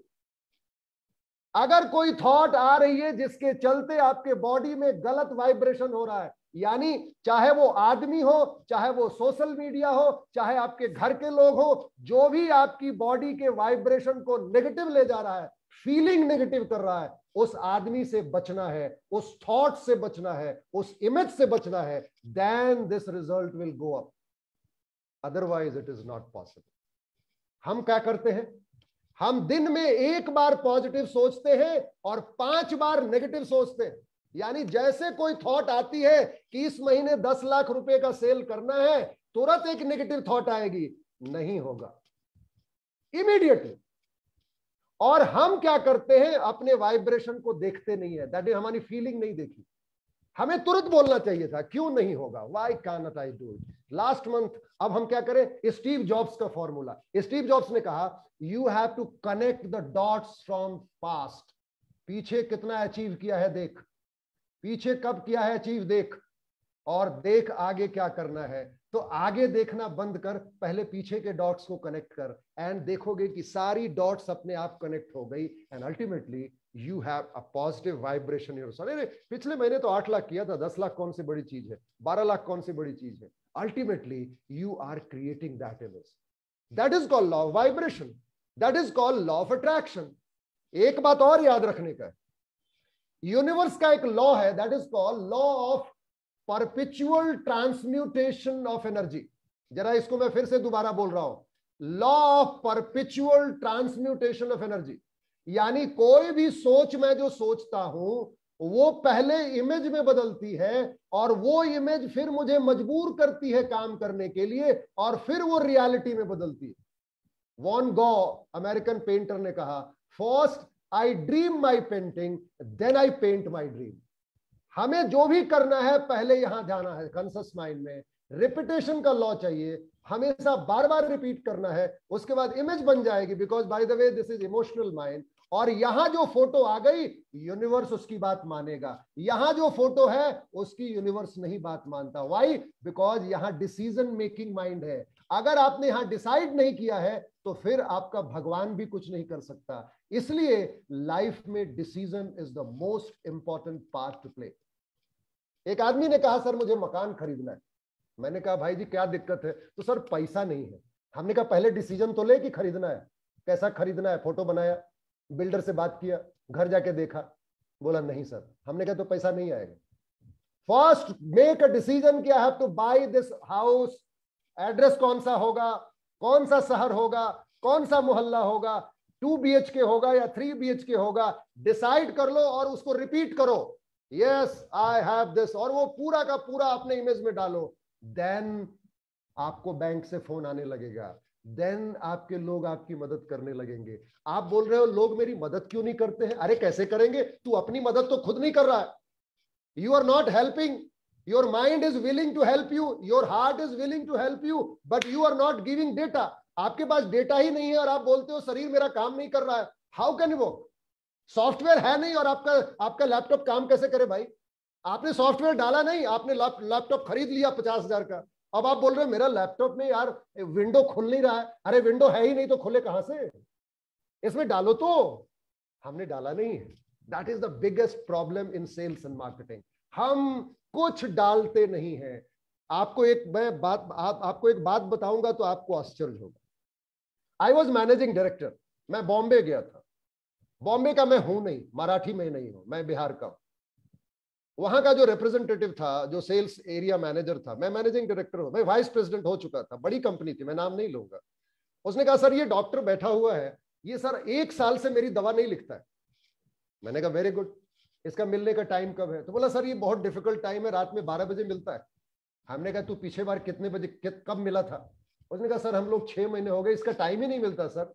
वो झूठ बोल रहा था, बारह बजे रात में कौन जाएगा, इसके डर से उसने एक साल पहले कॉल किया था। मैंने फिर भी कुछ डांटा नहीं उसको, मैंने कहा, ओके जी, कोई बात नहीं, आज अपॉइंटमेंट ले लो I would like to meet रात में बारह बजे मैं गया, इतनी लाइन लगी हुई थी, भीड़ लगी हुई थी, जरा ध्यान से सुनिएगा, आपके बहुत सारे प्रॉब्लम्स खत्म। मैंने कहा, ये ऐसे तो मानेगा नहीं। मैंने क्या किया, टाई अपना खोल दिया मैंने जाके पेशेंट के क्यू में जाके लाइन लगाया और एक हज़ार रुपये फ़ीस थी। मैंने एक हज़ार रुपया दे के कहा, पेट में दर्द है, यहाँ दर्द है। मैंने कहा पेशेंट बनूँगा। पेशेंट बनने पे लाइन पहले मुझे मिल गई, क्योंकि रिप्रेजेंटेटिव की लाइन और सेल्स लोगों की लाइन जो थी, वो बहुत पीछे थी दो बजे रात में। मैंने कहा, अब चलो। मैंने कहा, उस लड़के को तुम नहीं जाओगे। वो सैंपल जो दवा की है, वो दे दो और एक लिटरेचर दे दो जो प्रोडक्ट का उससे लिखवाना है। मार्केट रिसर्च मैंने कर लिया था कि ये पहले क्या लिखता था, आज क्या लिखता है। मैं अंदर घुसा। और मेरा पहले जूनियर डॉक्टर ने ब्लड प्रेशर लिया नॉर्मल था, सारी चीज़ें दी, मैंने दिखाया, जीव, आँख, सब जो भी उसका फ़िज़िकल चेकअप था उसने किया। मेन डॉक्टर के पास मुझे भेजा गया। मैं, मुझे मैंने बिस्तर पे लिटाया। डॉक्टर साहब, जैसे आया मैं बैठ गया। और मैंने कहा sorry sir I am not a patient I am vice president of this company and sir एक साल हो गए, आपने मुझे बीमार कर दिया मेरी पूरी टीम बंबई में बीमार है। So I have come as a patient because ऐसे तो आप सुनेंगे नहीं। मैंने तुरंत वो डॉक्टर पैसा निकाला। उन्होंने वो मेरे मेरे उत्साह पे और मेरे रिस्क लेने की कैपेसिटी पे बहुत खुश थे। उन्होंने कहा, ठीक है जी, आगे बैठो यहाँ। Yes you can talk to me now मैंने कहा सर, एक साल हो गए आपने मेरी दवा नहीं लिखी है। And I am really fed up and I am really pathetic मेरी कंपनी बंद हो जाएगी यहाँ से, सर।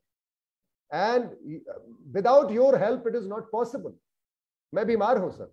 इसलिए मैं बीमार की लाइन पे आया हूँ, मैं किसी सेल्स रिप्रेजेंटेटिव के लाइन पे नहीं आया।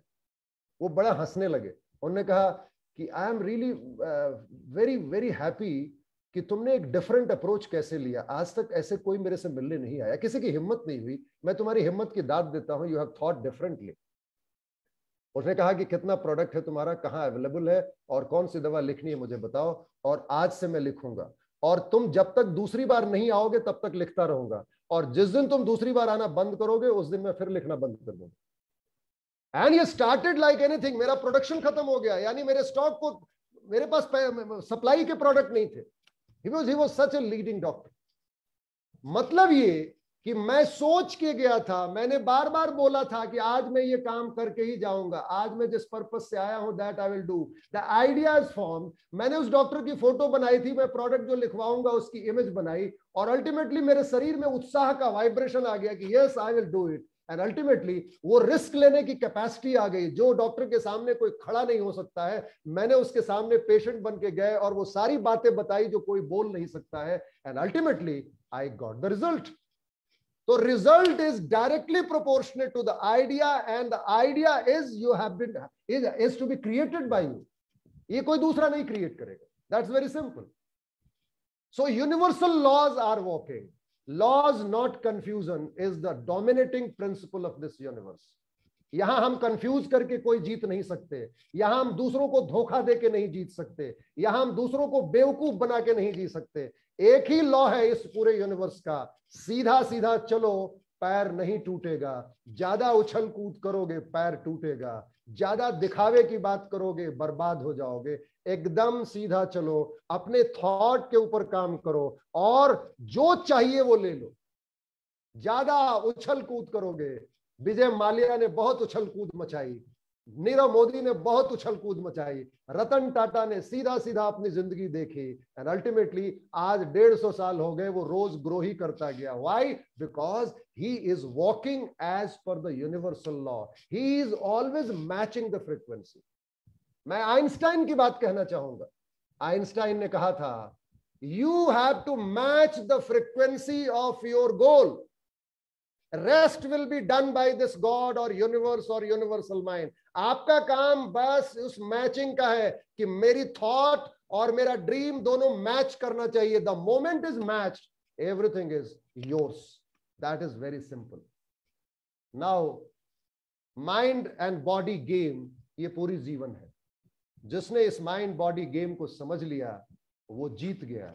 जिसने माइंड बॉडी गेम को नहीं समझा वो रगड़ता रहा, वो हारता रहा, वो समझता ही नहीं है कि आखिर मेरे साथ ये कौन खेल हो रहा है। वो पंडितों के पास गया, मौलवियों के पास गया, मंदिर मंदिर घूमा, जूतियाँ चटकाया, फिर भी कुछ नहीं हुआ। It is only because he doesn't understand what is mind and body game चाहे वो सेल्स हो, चाहे वो टीचिंग लाइन हो, चाहे वो कोई लाइन हो, चाहे वो एक स्टूडेंट हो, चाहे वो कोई प्रोफेशनल हो without understanding this mind body game you cannot expect to win anything चाहे आप एग्ज़ाम पास करना चाहते हो, चाहे वो आप आप आप अपनी ऑर्गेनाइजेशन में सबसे ऊँचे नंबर पे आना चाहते हो, आप चाहे मोदी केयर में आप बेस्ट बेस्ट बनना चाहते हो इट इज़ वेरी सिंपल कि आपको माइंड बेडी गेम समझना होगा। Last paragraph I am showing this is the last slide आप अभी यहाँ सोच रहे हैं तो आपका रिज़ल्ट यहाँ होगा। ये फ्रीक्वेंसी है this entire universe is frequency infinite number of frequency और आप यहाँ सोच रहे हैं, जो भी इसका चलते रिज़ल्ट यहाँ है, आज की सोच। आपको जाना यहाँ है दिस ऊपर, ये जो लाइन दिख रही है। और यहाँ जाने के लिए आपको कहीं जाना नहीं पड़ेगा, आपको कहीं मेहनत नहीं करना पड़ेगा। आपको केवल अपनी थॉट को यहाँ से उठा के यहाँ लाना है। That is called law of perpetual transmutation of energy आप यहाँ पहले से दिमाग लगा दीजिए कि मुझे ये, इसको कहते हैं कॉन्सियस अवेयरनेस अच्छा आप जरा एक चीज़ मुझे बताइए। हमको एबीसीडी आता नहीं था तो कैसे आ गए भाई? लाख रटते रहे, नहीं समझ में आया, जब तक हमारी अवेयरनेस नहीं। ओ ए फॉर एप्पल ओहो, आ गया माँ। एप्पल जैसा ये यस अवेयरनेस रटने से नहीं आया कॉन्सियस अवेयरनेस से आया। हमको वन टू हंड्रेड तक नहीं आता था। हमने लिखना सीख लिया, बोलना सीख लिया, कैसे आया? कॉन्सियस अवेयरनेस से आया। हमने पाँच हज़ार रुपए का सेल किया था पिछले महीने। तो वो मेरी पाँच हज़ार की कंसस अवेयरनेस थी। अब अगर इस महीने में पचास हज़ार की सेल करना चाहता हूँ तो मुझे इस अवेयरनेस को छोड़ना पड़ेगा और यहाँ की अवेयरनेस पे आना पड़ेगा। I have to shift my awareness to fifty thousand और बोलना पड़ेगा yes I know that I can achieve this fifty thousand आप देखेंगे, ये तीर बता रही है कि आपकी अवेयरनेस बढ़ती जा रही है। मैं ये नहीं बोल रहा हूँ कि आज आपने कहा पाँच लाख की सेल हो जाएगी तो आज ही हो जाएगी। But the moment your awareness has started increasing, your sales will start increasing. It is not related to your hard work. It is not related to your kismat. It is not related to God's mercy. No, it is only related to human awareness, conscious awareness. कि मुझे क्यों चाहिए ये पांच लाख रुपए आपको जवाब देना पड़ेगा why you want five lakhs rupees sales and if you don't have answer you will not get the sales अगर पाँच लाख रुपए सेल करना है तो आपको आंसर देना पड़ेगा, क्योंकि मेरे को पाँच लाख रुपया कर्ज चुकाना है, पाँच लाख रुपए का मकान खरीदना है, पाँच लाख रुपया बच्चे की फ़ीस देनी है, पाँच लाख रुपए का ये काम करना है। अगर आपने रीजन नहीं दिया तो you will not get it पाँच लाख रुपया दारू पीने के लिए नहीं मिलेगा। पाँच लाख रुपए मस्ती करने के लिए नहीं मिलेगा। Because money is also energy and energy का बैलेंस क्रिएट होता है। ऐसा नहीं कि आपको ऐसे ही लॉटरी दे देगा। और अगर लॉटरी दे देगा तो वो छीन भी लेगा। इसलिए कि बैलेंस मिसिंग है।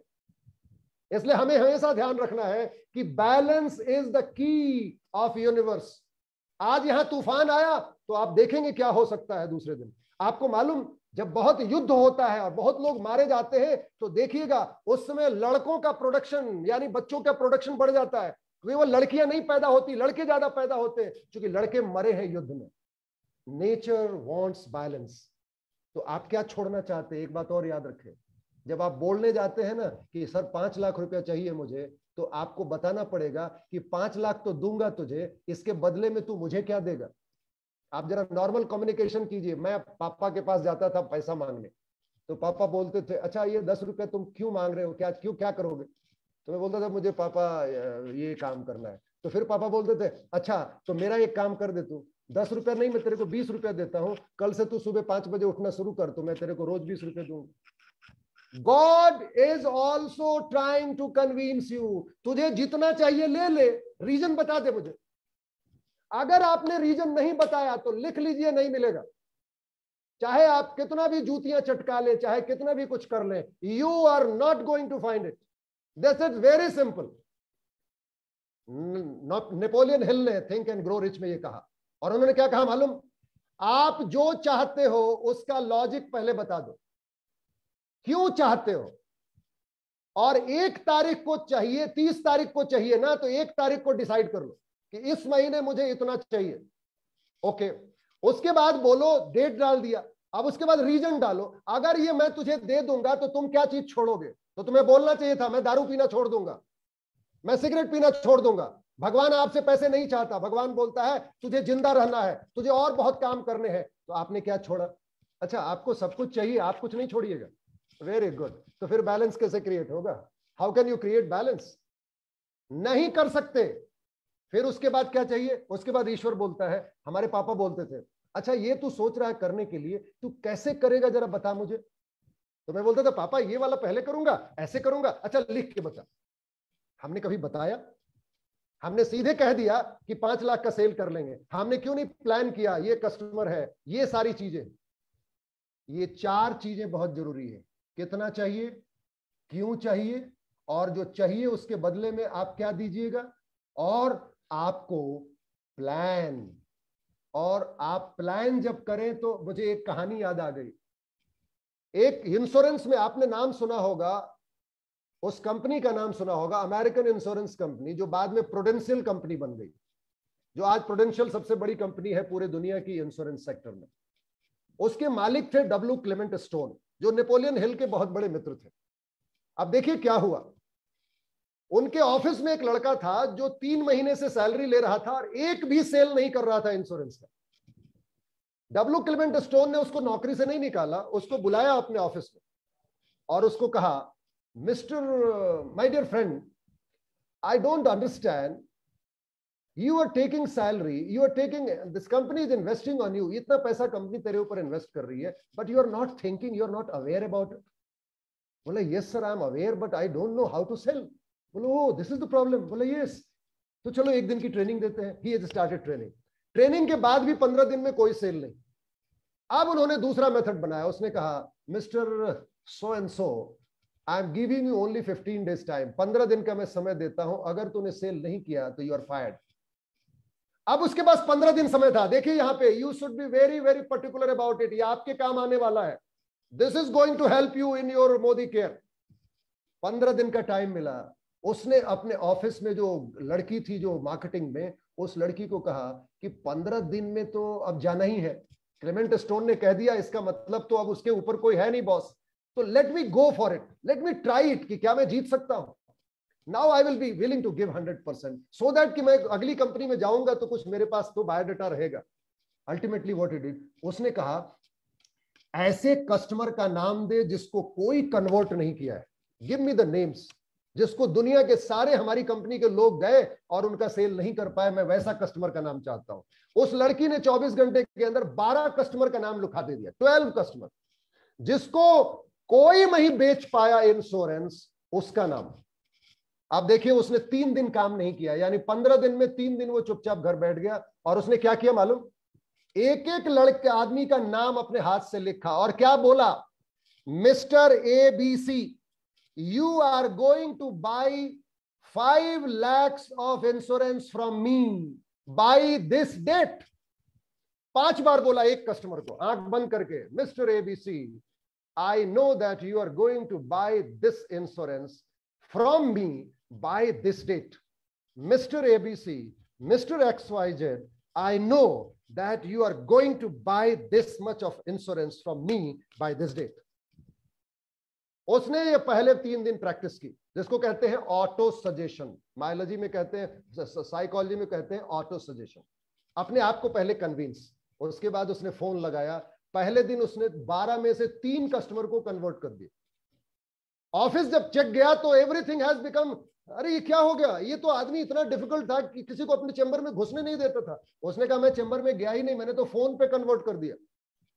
सब लोग आश्चर्य डब्ल्यू क्लेमेंट स्टोन के पास कहानी गई। He was very happy because he was knowing कि ये आदमी कहीं छुपा हुआ है, इसके पास टैलेंट है।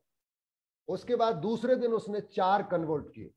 उस चारों को पहले बीस बार बोला, आ, mister ABC I know that you are going to buy my insurance from me by this date एक कस्टमर ग्यारह कस्टमर कन्वर्ट हो गए, अब दो दिन बचे थे। एक कस्टमर कन्वर्ट नहीं हुआ। पंद्रह दिन से लगातार उसके ऑफ़िस में जा रहा था but he was not getting confirm last दिन, महीने का अंतिम दिन था, उस दिन उस कस्टमर ने क्या कहा उसको? उसको कहा, तुम अपना समय क्यों बर्बाद करते हो? तुम्हें मालूम है मैं नहीं खरीदूँगा, तुम्हारे बॉस से भी नहीं खरीदा, तुम्हारी कंपनी से नहीं खरीदूँगा। आई यू नो तुम अपना समय क्यों बर्बाद कर रहे हो? मैं जानना चाहता हूँ। पता है इस आदमी ने क्या जवाब दिया? इस आदमी ने कहा मैं आपको इंश्योरेंस बेचने थोड़ी आता हूँ सर मैं नेपोलियन हिल की किताब पढ़ रहा हूँ थिंक एंड ग्रो रिच और उसमें एक वर्ड है पेशेंस एंड परसिवरेंस मैं बस उसी की प्रैक्टिस कर रहा था कि बिज़नेस में पेशेंस क्या होता है और परसिवियरेंस क्या होता है। सर मैंने आज पाठ पढ़ लिया। नाउ आई नो कि व्हाट इज़ पेशेंस पता है उस आदमी ने क्या कहा? खड़ा होके। उस आदमी ने कहा, मैंने भी तुमसे एक बात सीख ली। कि कोई भी सेल कैसे किया जाता है, किसी आदमी को कन्वर्ट कैसे किया जाता है, किसी आदमी से कैसे कहा जाता है कि भाई मैं कुछ नहीं माँगता हूँ तुमसे, लेकिन तुम मुझे सेल दे दो, तुम्हारी बॉडी लैंग्वेज से केवल पता चल जाता है, मैं तुम्हें कितना का इंश्योरेंस चाहिए? उसने सबसे लंबा चेक लिखा, उसने अपना ब्लैंक चेक निकाला और उसको कहा, जितना तुझे भरना है इसमें भर ले। उसने कहा sorry sir I am not the owner of your life I am not knowing की what is in your bank so please वहाँ ईमानदारी दिखाई और उसने जो अमाउंट सोच के रखा था, उससे पाँच लाख ज़्यादा का सेल उसने किया। And ultimately he was the superstar of that company मतलब ये कहना चाहता हूँ कि जब वो यहाँ सोच रहा था तो फायर्ड हो गया।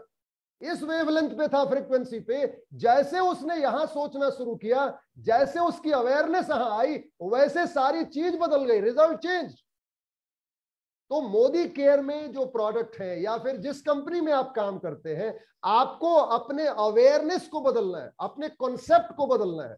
आपको एज ए पर्सन नहीं बदलना, आपको यहाँ से बदलना है। That's very simple and I know that you can do it by challenging yourself by understanding this this in universe is vibration मैं हर वीक में सात दिन की ट्रेनिंग देता हूँ पर्सनल विक्ट्री मास्टर क्लास मैंने अभी 11 घंटे का काम एक घंटे में किया है। तो नेचुरली ये केवल ब्रीफिंग हो सकती है। आपके घर में मैं स्टूडेंट्स का बैच चलाता हूँ, मैं प्रोफेशनल्स का बैच चलाता हूँ। अभी चूँकि ऑनलाइन सारी चीज़ें चल रही हैं those who are willing to attend my class they can enroll बहुत नॉमिनल फ़ीस मैं लेता हूँ, चार सौ निन्यानवे रुपए सात दिन की क्लास है। और उसमें थे 500 600 रुपए की चीज़ मैं मुफ़्त में देता हूँ। I think my study materials everything is goes free of cost मैं ये इसलिए करता हूँ कि मैं अपने आप को अपडेट रखूँ और जो मैं जानता हूँ वो लोगों को बताता चलूँ। इसलिए मैं एक और रिक्वेस्ट करूँगा आपसे। मेरी वेब मेरी मेरी यूट्यूब पे बहुत सारी चीज़ें मैं रोज डालता हूँ two minutes you can subscribe my channel and those who are interested to join आपके बच्चे हों आपके आपके प्रोफेशनल्स हों, जो भी परेशान हो रहे हैं, जिनको बहुत सारी चीज़ें नहीं मिल रही हैं you can join my telephone number you can write it at zero seven six you can write my telephone number. 8076 320 818 that is my number. आप ले सकते हैं मंजेश जी से number that is possible. So thank you again, Manjesh ji, आपने मुझे मौका दिया। पता नहीं कैसा लगा I don't know I I will wait for your feedback कि ये आपके लायक था या नहीं था। आई वॉज़ नॉट प्रिपेयर्ड जो भी मेरे पास आया मैंने किया। So thank you and God bless you bye sir thank you बहुत बहुत धन्यवाद सर और आज जो भी टॉपिक आज आपने डिस्कस किया इन सभी का जो फाइनल आउटकम था सर चाहे वो लॉ ऑफ़ अट्रैक्शन हो, चाहे विचारों की ताकत हो, चाहे माइंड और बॉडी गेम हो, हम लोग केवल इसके मतलब रिज़ल्ट को केवल हम लोग जानते थे। और कई बार क्या होता है लॉ ऑफ़ अट्रैक्शन काम करता है, नहीं करता है, कभी मन में डाउट आता था, क्योंकि उसके बिहाइंड जो लॉजिक था, उस लॉजिक को हम लोग नहीं जानते थे। और आज सर आपने उन सभी चीज़ों को लॉजिक साइंस स्पिरिचुअलिटी हर चीज़ के साथ कनेक्ट करके एक बिलीव सिस्टम को स्ट्रॉन्ग किया। और आज सर रियली जितने भी लोग आज हमारे साथ थे इस सेशन में, वो सभी लोग आज रात सो तो नहीं पाएँगे।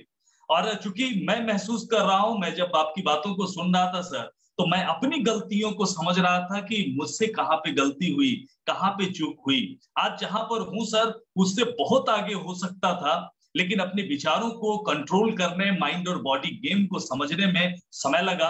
आपको भरोसा दिलाता हूँ सर कि आपके इस सेशन से बहुत सारे लोगों की ज़िंदगी बदलेगी। और मैं तो पूरी तरह से आपके प्रोग्राम को एकदम देखता रहा। सारे लोग इसी तरीके से थे। मैं देख भी नहीं पाया। आ, कि कौन कौन लोग साथ में हैं? तो नितिन सर संजीत जी प्रसन्ना जी कोई लोग हैं क्या? कोई मेरा साथ दे सकते हैं? Feedback feedback I like feedback Nitin sir थोड़ा सा देखिए अपने कोई अपलाइन है तो थोड़ा सा उनको उनका फीडबैक लेना चाहेंगे सर? सर उत्तम सर है। ओपी उत्तम सर हैं क्या? यस सर नितिन जी बोल रहे हैं नितिन जी बोल रहे हैं। हाँ sir. Hello. Hello. Manukul sir आप स्लाइड से स्लाइड स्लाइड हटा लेते हैं। जी जी जी सर। हाँ sir. Hello. Hello Manjesh Manjesh ji. हाँ सर जी। नमस्कार। आज आप नमस्कार। आज आपने सर जी को लेकर के आए हैं। ये तो हम लोगों की आँखें खुल गई। हम लोग बहुत गलतियाँ करते थे। ये तो जानते थे कि कॉन्सेंट माइंड अनकॉन्सेंट माइंड और ये सारी चीज़ जो चीज़ें बताई सर ने वो हम लोग कभी सुना भी नहीं था जाना भी नहीं था बारे में।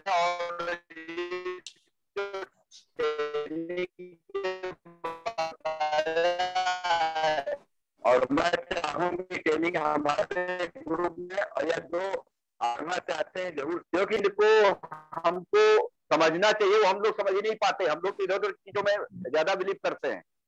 तो सर ने जो बताया जो जो भी चीज़ें बताई है जो भी स्लाइड मैंने कई स्लाइड तो सर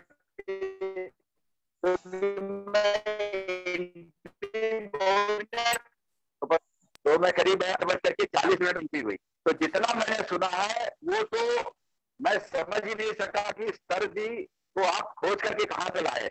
और वास्तव में सर जी तो बहुत ही अच्छी चीज़ें बताई हम लोगों को कि अगर इसको हम लोग करेंगे तो हर क्षेत्र में कहीं मैं आगे निकल सकते कोई भी हमारे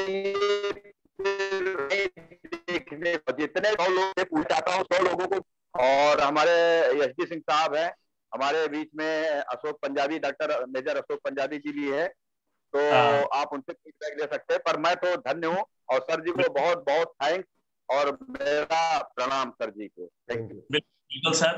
और मनुकुल सर अभी आप सुन रहे थे ये हमारे अपलाइन है कानपुर से रह, के रहने वाले हैं। और जो टॉप टाइटल होता है मोदी केयर में GBD global black diamond director हैं। और आ, सर ओपी उत्तम सर का नाम है और हम लोग इन्हीं के नेटवर्क से हैं। हम लोगों ने जो कुछ भी सीखा है सर सब इन्हीं का देन है सर। और दूसरे व्यक्ति सर हमारे साथ में है जो हमारी कंपनी के टॉप टाइटल पर हैं और वो दिल्ली के रहने वाले हैं। Doctor major Ashok Punjabi sir हैं और दिल्ली में ही सर वाइफ हस्बैंड दोनों डॉक्टर हैं। क्लिनिक भी इनकी चलती है और साथ में मोदी केयर के टॉप टाइटल को भी अचीव किया है। तो अशोक पंजाबी सर आप सुन पा रहे हैं तो सर थोड़ा सा फीडबैक चाहेंगे आज के प्रोग्राम का? Thank you Manjesh ji. नमस्कार। नमस्कार जी। ग्रेट जो प्रोग्राम था मनुकुल जी का एक्सेलेंट जैसे कहते हैं ना सुपर टूपर एकदम प्रोग्राम था क्योंकि मैंने भी बहुत साल पहले डेल करने जी कार्नेगी जी की क्लास चलती थी हमारे दिल्ली में तो औषित घोष थे, जो हमारे स्वामी विवेकानंद जी के डिसाइपल भी थे और वो चलाते थे कोर्स वो अटेंड किया था मैंने, फिर विजय बत्रा जी की भी बहुत अच्छी इंस्पिरेशनल मोटिवेशनल क्लासेस अटेंड की हैं। बट आपका मनुकुल जी का तो डिफरेंट स्टाइल था, बहुत ही कहते हैं ना कि यूनिक था और बहुत अच्छा लगा। क्योंकि अप्लाइड नॉलेज और स्ट्रक्चर से उन्होंने जैसे बताया स्पिरिचुअल इंटेलेक्चुअल और फ़िज़िकल और बहुत ही डिफरेंट अप्रोच थी। और फाइनल कंक्लूजन जब उन्होंने हमारे जो बेस्ट है नेपोलियन हिल की और जो रॉक फेलर इनके एग्ज़ाम्पल के साथ में शेयर किया तो बहुत ही गजब का प्रोग्राम लगा। हम चाहेंगे कि ऐसे महीना दो महीने में इस तरीके से हमको अपग्रेड करते रहें। Thank you very much Manjesh ji. Thank you हमारे मनकुल जी का। हाँ जी। Thank you thank you sir और नितिन सर अपने एस डी सिंह सर हैं क्या?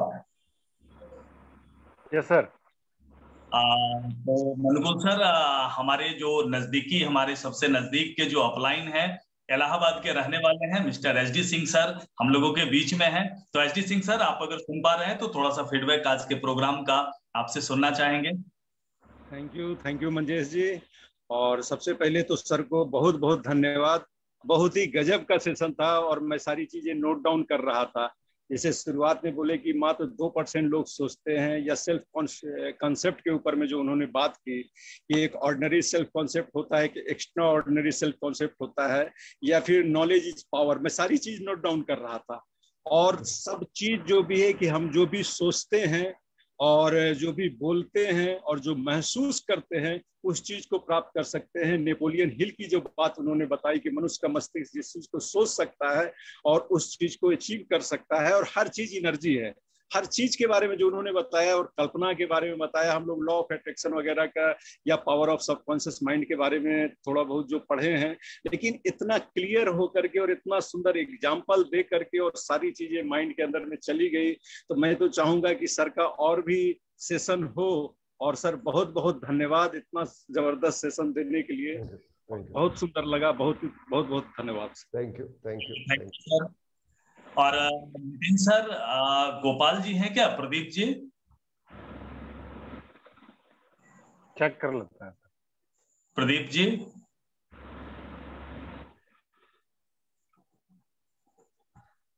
हाँ गोपाल होस्ट हो चुके हैं। और हाँ चलिए आज के प्रोग्राम का कुछ फीडबैक सर फीडबैक के लिए सर को बहुत बहुत धन्यवाद इतनी अच्छी तरीके से बताए। और सबसे ज़्यादा अच्छा तो वही सब कॉन्शियस माइंड और कॉन्शियस माइंड उसके बाद, सर का सबसे अच्छा इलेक्ट्रॉन के ऊपर, विज्ञान में इतना दिन पढ़े। इलेक्ट्रॉन प्रोटॉन न्यूट्रॉन लेकिन बट इलेक्ट्रॉन के बारे में इतना कुछ, और वो सारे हमारे माइंड से रिलेट करता है। तो सर को बहुत बहुत धन्यवाद, इतने अच्छे तरीके से आज ट्रेनिंग हुआ। मैं तो वीडियो ऑफ़ करके एकदम सुन रहा था। और यूट्यूब पर भी अब फॉलो करेंगे और अपने बच्चों को भी सर का सेशन हम दिखाया करेंगे। और तब्दीली बहुत जल्द होगी सर क्योंकि इस लॉकडाउन में आपने माइंड को बहुत बड़ा रिफ्रेशमेंट दिया है। और हमें याद आ गए सुरेश मोहन सेमवाल साहब जिनसे हम लोग पटना में ट्रेनिंग लेते थे। और आपका भी ट्रेनिंग सर माइंड को सेट करने वाला है तो बहुत बहुत धन्यवाद sir. Thank you thank you जी। और लोग तो बहुत सारे हैं सर फीडबैक देने के लिए। समय की अपनी मर्यादा होती है। तो सारे को मैं ये बताना चाहूँगा कि मनुकुल सर का नंबर अगर आपको चाहिए तो आप हमसे संपर्क करें। मैं आपको नंबर अवेलेबल कराऊँगा। और मेरी ये सोच है कि आप में से जो लोग डिजर्व करते हैं मतलब आपको लगता है कि आगे इस प्रोसेसिंग को आगे बढ़ाएँ तो दस बीस सिलेक्टेड लोगों के साथ सर हम जो माइंड सेटिंग का जो क्लास आपका पाँच दिन का मास्टरिंग क्लास जो आपकी होती है हम चाहते हैं कि लोगों का सिलेक्शन करने के बाद एक चीज़ों को कर सकते आपसे संपर्क कर सकते हैं। मैं उनका नंबर दे दूँगा। और बच्चों की काउंसलिंग की जहाँ तक बात है तो मैं सबसे ज़्यादा इंस्पायर हुआ था लॉकडाउन में बच्चों को सही माहौल नहीं मिल पा रही थी। पेरेंट भी खिन्न हो चुके थे, बच्चे भी खिन्न हो चुके थे, कोई सिस्टम नहीं, कोई रूटीन नहीं था। और इसी परिस्थिति में मैं अपने बच्चों से परेशान था, पढ़ाई सही से नहीं हो रही थी। और सर का जब काउंसलिंग क्लास हुआ, और पाँच दिन की class